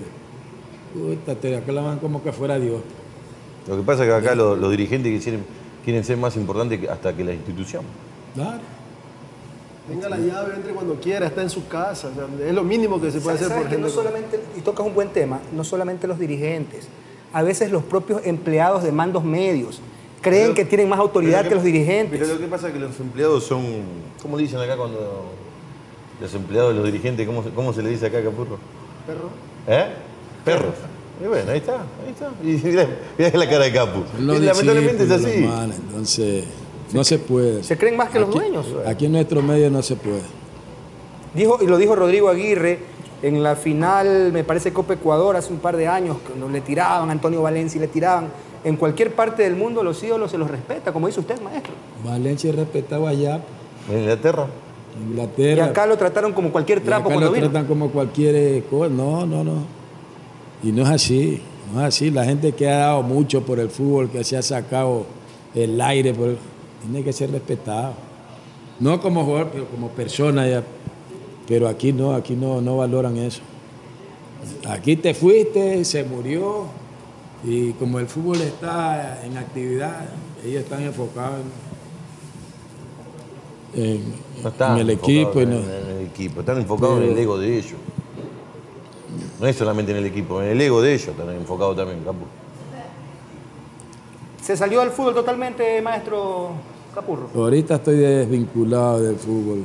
Su etapa de entrenador, de formador, ¿qué tanto duró? Bueno, tuvimos la, la oportunidad de, de- de estar en las escuelas de fútbol de la prefectura, pero también se, se salió de ahí. Ya la prefecta dijo que ya no iba más. No sé cuál es el que la asesora a la prefecta, pero salimos todos. O sea, de a poco fueron sacando todo porque ese era un buen proyecto que se había armado. Hace 11 años estuvimos ahí. Y en lo cual pues eso le fue muy bien a la prefectura, pero vino la, nueva prefecta, dijo que no, que era un departamento muy caro, entonces ya no se puede hacer nada, porque son los jefes y ellos son los que dicen hasta aquí nomás y, y tú como, como persona, como ser humano tienes que decir, bueno, ya no se puede hacer nada. Pues ya pelear con, con los que están arriba es En la difícil. inseguridad que se vive en todos los cantones de, nuestro, de, Guayas alrededor, ¿no cree que es- hubiera sido un- una, una buena manera de, de erradicar ese tipo de, de violencia mediante el deporte que se, se practicaba con muchos eh, exfutbolistas? ¿no? Eh, Puede, puede ser una de las razones también. Ya No. esos chicos quedaron sin, sin actividad, los que entrenaban con ustedes, por ejemplo. Mira, nosotros teníamos ahí hasta 18 años.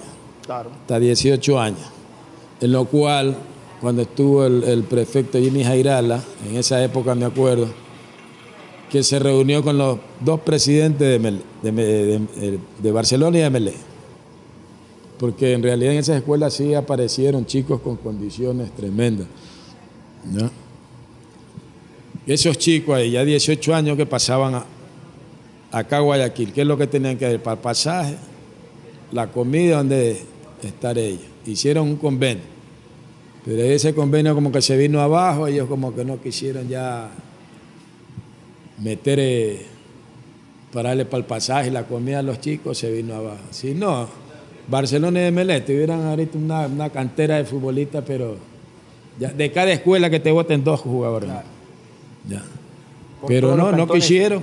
Yo creo que no quisieron porque era ¿Por un qué? proyecto Dijiste- bueno. Lo acabas de decir, ¿no? Y, y- y- y escúchame, y se los daban gratis.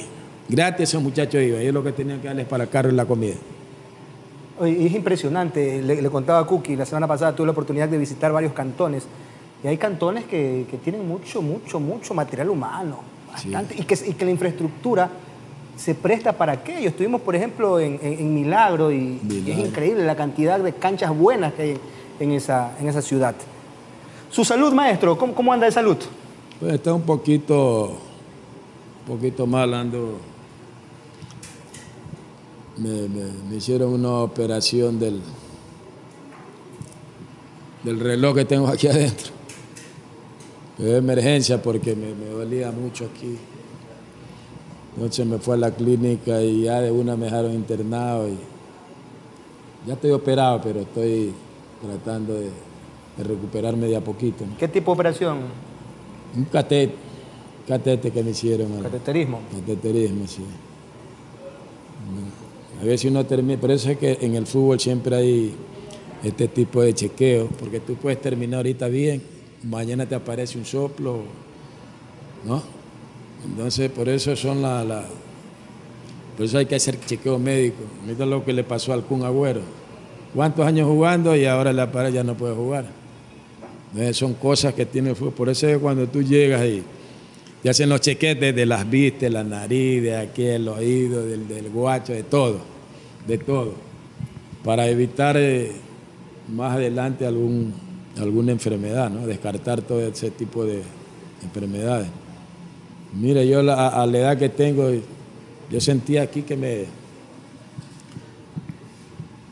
que se comprimía así, pero me dieron hacia las arterias, pero, pero tengo, creo que es una que, que está ahí como así, ¿no? Obstruyendo. Construyendo ahí. Y- pero ya estoy un poco mejor, ya estoy un poco mejor y gracias a Dios estamos aquí, si no, no estuviéramos aquí contando ahorita. Perfecto. Recta final, ¿dónde estamos, José Luis Perlaza? Escondidos Resto Bar. ¿Dónde está ubicado Escondido Restobar, señor Carlos Alberto Cookie Juárez? En Palermo, dice. En Palermo. Se- se Bosque me- de se me Palermo no, señor. Bosque de Las Palermo. vacaciones, las vacaciones me dejó fuera de La, distancia. la calle Corriente. En No, corriente, en Corrientes no, corriente. en la luz, más joven, más. La cerca 25. de. Cer- Cerca de. Ah, cerca en, la de 10 en el kilómetro 18. 18. Punto 5. Nah, Avenida León Pérez Cordero. Muy bien. Junto a No, no sé la la ciudad. comarca, la comarca. No, no me acuerdo. Junto a no la sé olla. Onix. Ya estoy fuera de distancia. Si subes y bajas. En escondido resto bar. No, si subes y bajas. si subes y bajas. MB. ¿De quién? ¿De quién? ¿De De quién? Manuel Benalcázar. Oiga, en la recta final esa, esa parte jocosa, porque hemos hablado de todo un poquito, eh, Luis Enrique Capurro, pero en esta parte que siempre se da en viajes, concentraciones, por ahí contaba una del piquetero, que ojalá esté, esté recuperándose, don Olger Abraham Quiñones, que, que su brazo le esté mejorando, que ¿Qué tiene? ¿Qué tiene? no, es que sufrió en un partido, sí, sí. ¿Qué pasó? Usted estuvo en ese partido, ¿no? ¿Qué le pasó Quiñones? Cuéntelo. No, el piquetero a veces cuando uno lo arrima se tira y cae solito y como cámara lenta es el man ahí tira. Dice. En alguna vez, eh, en un viaje también se tiró así. Este... Ah, esa una vez que andábamos por allá de gira por, por Guatemala, no sé, por El Salvador, no me acuerdo tan. Estábamos en un. Bueno, no se puede decir, bueno, en una discoteca estábamos. y me acuerdo que había, pero eran. Estos señores eran de otros países porque estaban tomando ahí. A lo que nosotros llegamos, sentamos ahí una mesa, andamos como unos cinco, seis. Todas esas chicas se vinieron acá y dejaron a los, a los otros allá gastados, chiros. Los extranjeros. se Los extranjeros, sí, los dejaron chicos, ahí se vinieron acá toditas como unas cuatro. Y se lo llevaban allá, al que estaba borracho, a los amigos se lo llevaban, man de allá entraba. Que no, que- de allá entraba. Y como las vio a las chicas que se sentaron acá, luego que sacas una pistola y apuntaba para acá. Y todos estamos, oye. Y cuando yo miro así, que habían unos bancos así, Don Quiño había hecho toditos los bancos para acá. Y- Largo a largo, ahí estaba acostado, hermano. Y yo miro, oye, Don Quiño. Puta, Don Quiño, usted es flojo, le digo, ¿no? Puta, yo no quiero llegar encajonado ahí, hermano. ¿Qué pasó con Jorge Quiñones? Que la gente pregunta, Cookie. Por eso, se, se votó rápido. Igualito. Así Igual. como fue, cayó fue. cuando el Cookie lo arrimó, así se tiró, hermano. Largo a largo ahí. Su opinión de esa acción, señor Perlaza. La verdad no tuve la oportunidad de verla de frente, Muy bien, muy bien. pero lo que me dijeron fue terrible. Es más, me, me llegaron muchos mensajes. El Cookie no puede hacer eso. Olger tiene alrededor de 10 años más que el Cookie. Tiene que respetar. No puede y meterle tan fuerte. No puede meterle tan fuerte a, No. a Olger. Tiene que ser diferente la historia. Bueno, cuando, cuando vos veas el video, que vos jugaste el fútbol, te vas a dar cuenta. yo, yo le creo a la gente. ¿Eh? No, Se no, creo. una defensa con, con Juárez, preparemos una defensa por si llega la No. gente. No, No, y aparte fue- fue- es más bueno que el fue- Ole. No, por eso mismo, no, no fue en ningún momento de querer golpearlo, nada que ver. Yo voy cubriendo la pelota porque quería agarrar la posición y él seguía luchando y yo con el brazo lo frenaba y a él lo tenía agarrado del brazo. Cuando llegamos al- al límite de la línea y estaba, había un cartelito ahí, llegamos ahí, yo seguí cubriendo, seguí cubriendo, encima bajo el brazo para que me termine de soltar. Y él me termina de soltar pues, porque tuvo que saltar y tirarse. Cayó entre medio de las piernas de la gente que estaba ahí al lado. No sé. ¿Sabes qué es lo Pero- más chistoso? Que Cookie trata de darle la mano, ¿no? Pero lo que ve que el, que, el- que el- que el árbitro le pone la amarilla, se despreocupó y lo dejó al pobre Oler ahí. lo- Ah, empezó a cobrar falta. ¿Qué estás cobrando? ¿Qué falta si él lo llevó agarrado el brazo? Pero bueno, así. Pero no pasó nada ahí. O no, que después que salió de ahí, que se levantó, le hablé y me dice, no, grandote, no, bien, bien. Lo único es el dedo que me golpeé nomás. Fractura múltiple en el dedo. Se golpeó el dedo nomás. Uno, uno más a la lista. No le crean a todo esto. Maestro. Acá, Capurro sí, es todo no. Maestro, de esas cosas jocosas, una de las más graciosas que le haya tocado en el, en el fútbol. Que se acuerde. O un, o un delantero eso que le tocó, le costó, por- a pesar de, de la fuerza que usted ponía, uno que decía, No, pues, Es que, es que en, la, en la- en la época, por ejemplo, que yo comencé, se jugaba con punteros a la raya, pues, Ahora, tres delanteros. tres delanteros. ¿Ya? Entonces eran. A mí me tocó, por ejemplo, Valdión, Mario Tenorio, El Palo, Arzamendi, Canilla, Balbi, todos esos, esos monstruos. Mira cómo va subiendo el nivel. Ya, y Mario Tenorio aquí era terrible. Pues. Te cogía la pelota pegadita ahí, te la lleva, te, te amarraba, te desamarraba. Ya, era tremendo, era un buen puntero. Paimiño, toditos eso. Ya, me acuerdo de una de esas que nos estábamos en Filambanco, estaba dando la charla de Trompudo, Ernesto Guerra. ¿Verdad? Era un tipo muy inteligente que él ya sabía toditos los jugadores que te amagaban, los jugadores que tú tenías que quedarte parado. Ya en la pizarra él ya te iba, él no perdía. Ya en la pizarra él ya, iba ganando. Porque te decía, a ver, a ver, a ver, Freddy Bravo. Que ya sabe, Pazmiño, pegadito, pegadito. Cuidado con darle espacio. Preciado.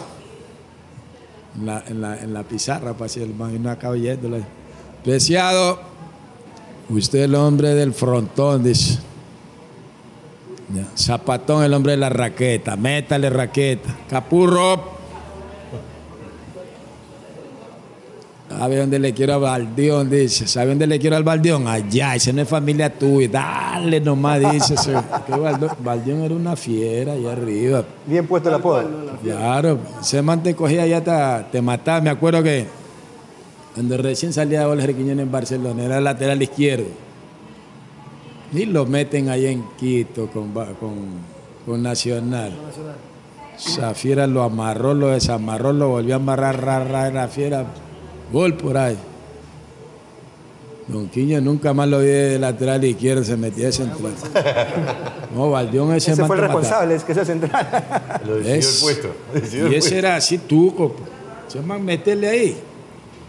Ese man se iba llevando con todo por delante, te picaba, te mataban, los mismos Pazmiños. Benítez, tenían ese Villafuerte. Carlos Ronca te, te corría hasta por verte, no me corría este man. Ya. Ese nacional Y- terrible, ¿no? Y yo me acuerdo que lo coja Baldión, pues, y le meto allá a ese man, allá cayó. No, porque tú te tienes que hacer. O sea, yo no pegaba. Ya.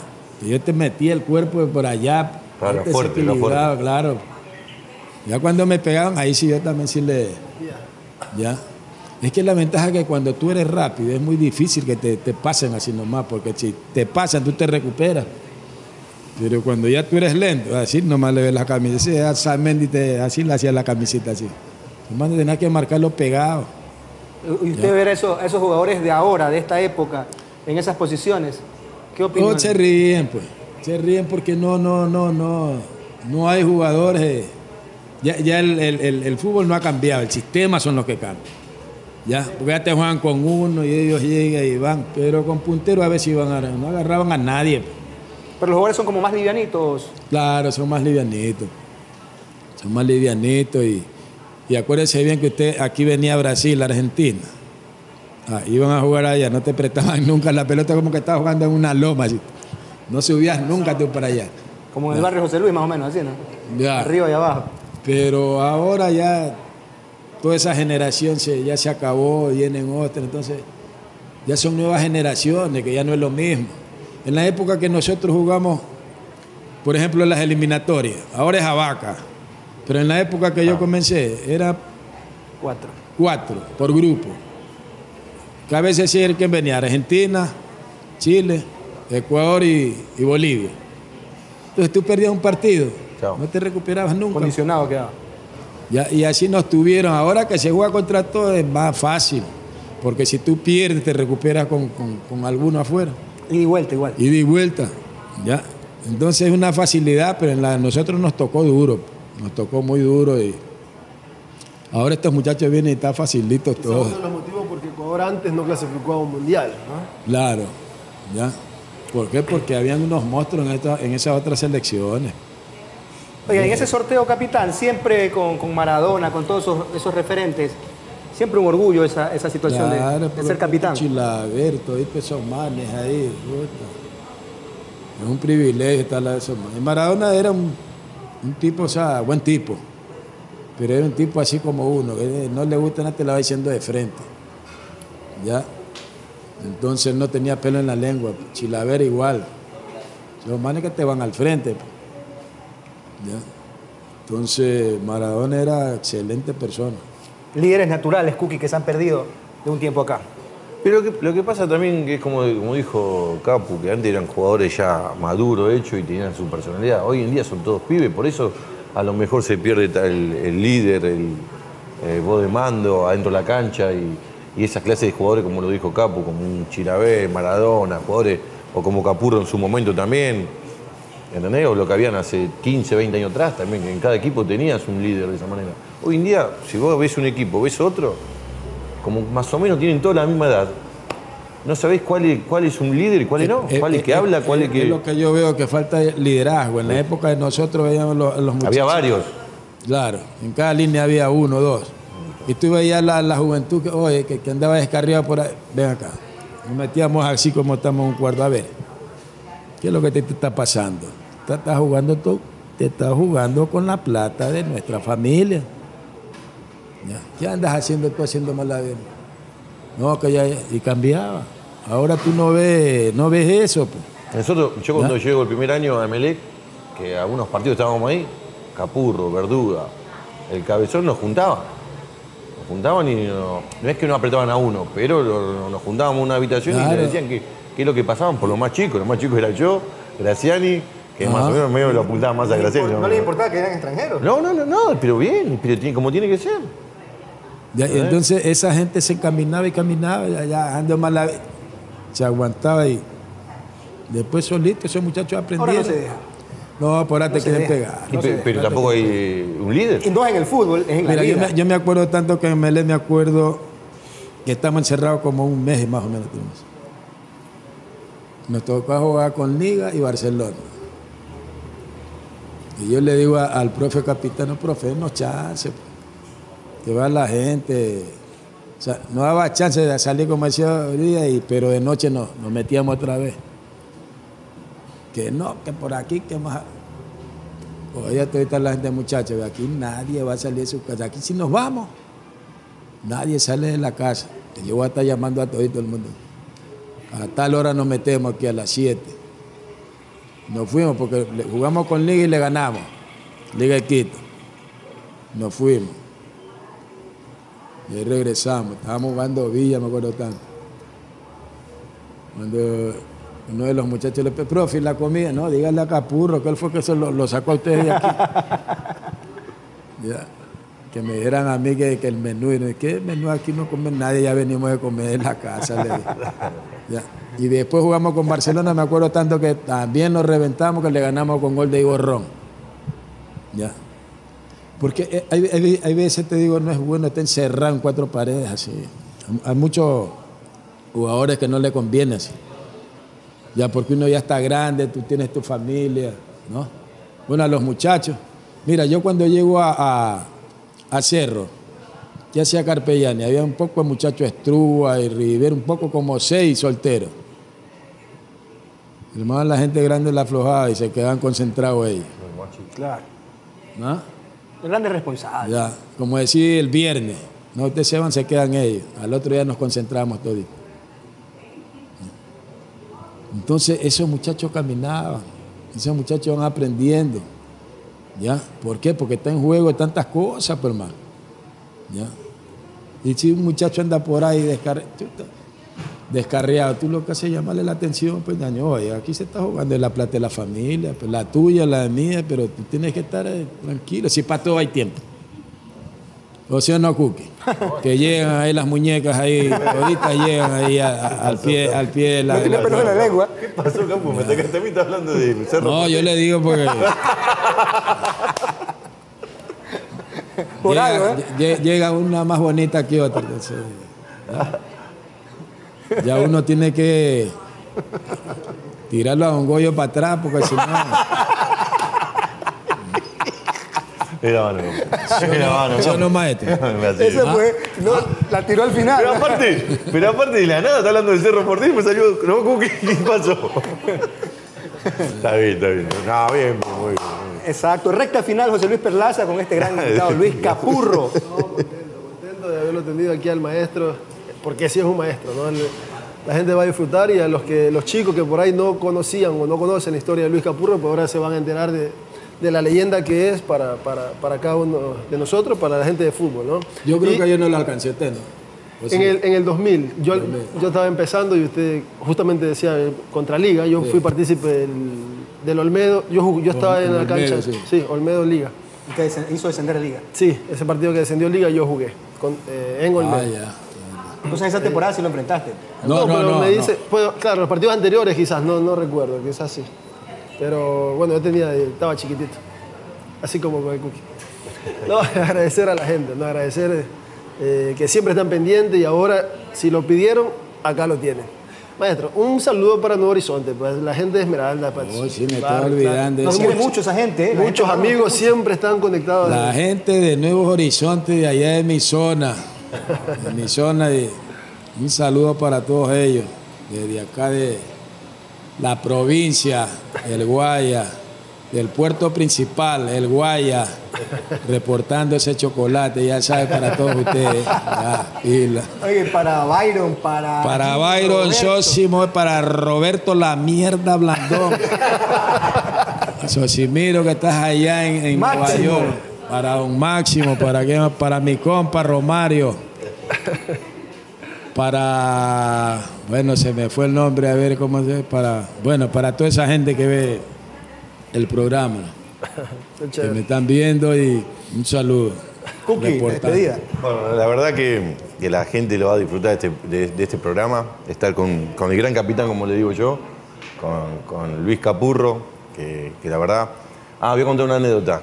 Eh, este fin de año, el anterior, me, me, me mandaste un audio para fin de año, ¿fue, no? ¿Sabes que me sorprendió? Para que la gente sepa qué clase de persona es Capurro. Yo estaba en Argentina, era antes de las 12 de hora de allá, me parece que era, no recuerdo. Si recibo un audio de, del gran capitán deseándome feliz año y todo, y la verdad que me, me quedó contento, quedé muy orgulloso y bueno, esto se lo quiero comentar a toda la gente, que yo ya lo venía pensando, el momento que lo tengamos Capurro acá, le iba a contar una anécdota esta y que la verdad que muchas gracias capitán y bueno, Capi, capi. que la gente disfrute de, de este programa que yo sé que lo van a disfrutar.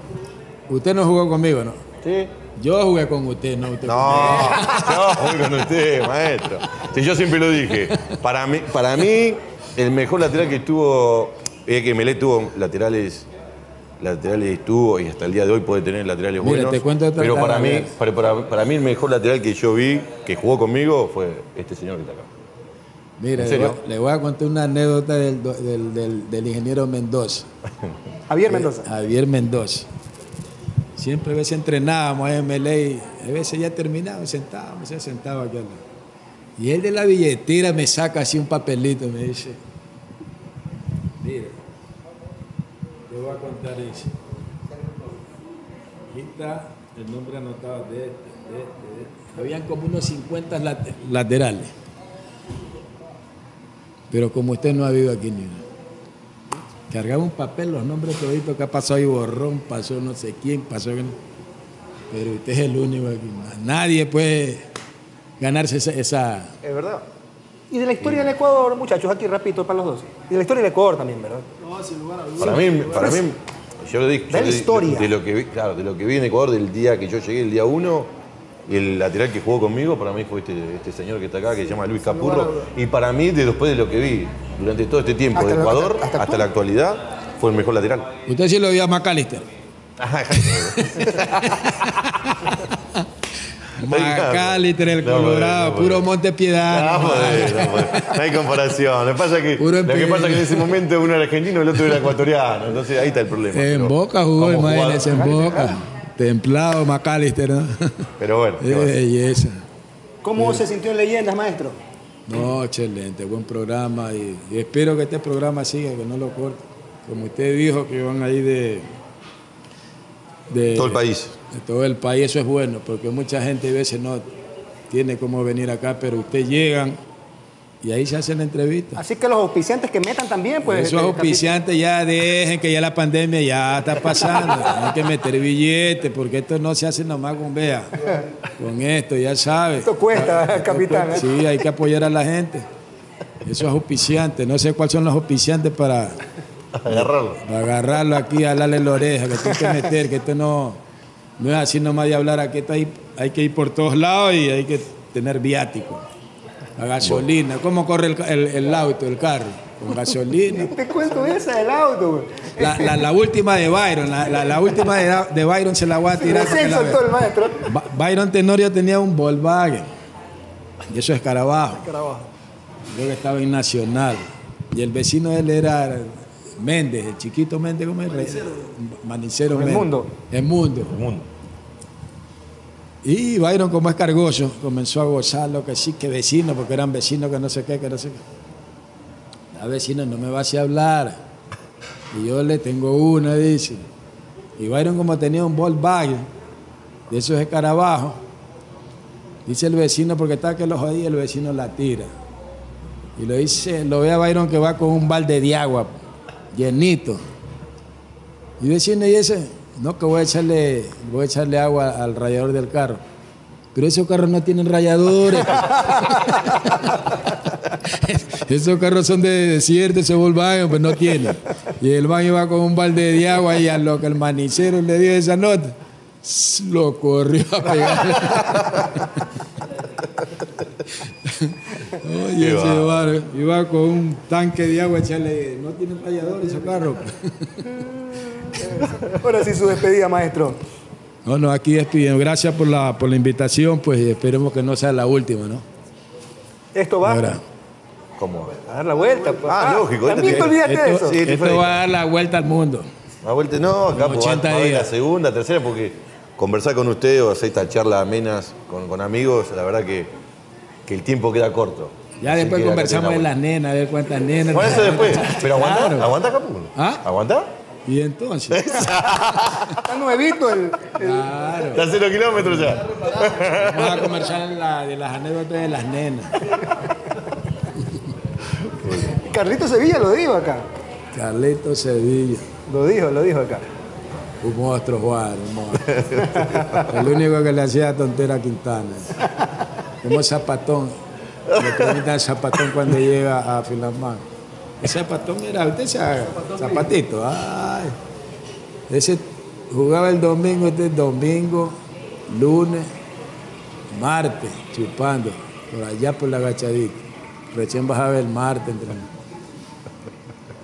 Chuta, hasta que ya man llega a Filambanco, buscan una caleta, todo. y ya el presidente Cabrera, fue una reunión ahí. Poquito arriba, maestro. Cabrero le dice, me acuerdo que lo van a entrevistar los, los- los periodistas, a Zapatito le dicen, bueno, es una entrevista. No, dice yo ni en la chiquita ni en la grande hablo, voy a hablar. no estoy hablando, dice, no estoy hablando. dice. Zapatito. Perfecto. Hasta un próximo programa. Gracias. Permiso. Esta tercera temporada en Leyendas, tiemblen porque volví. ¿Y qué pasa? Calladito, mucho burro también en el BC. Con nuestros grandes invitados, porque el fútbol no es violencia. ¿Y por qué no te sonreís? Porque la perdí, ¿qué quiere que le... ¿A qué quiere que celebre? ¿Y cuál negrito de ton? Uno que ya camina así. Para mí es un orgullo y una gran satisfacción de, de compartir momentos especiales.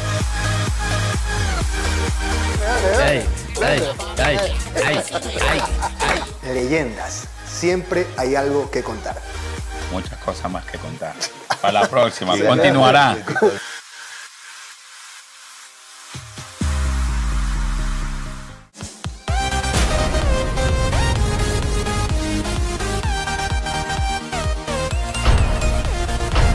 Leyendas es un programa semanal con muchas anécdotas de nuestros grandes invitados.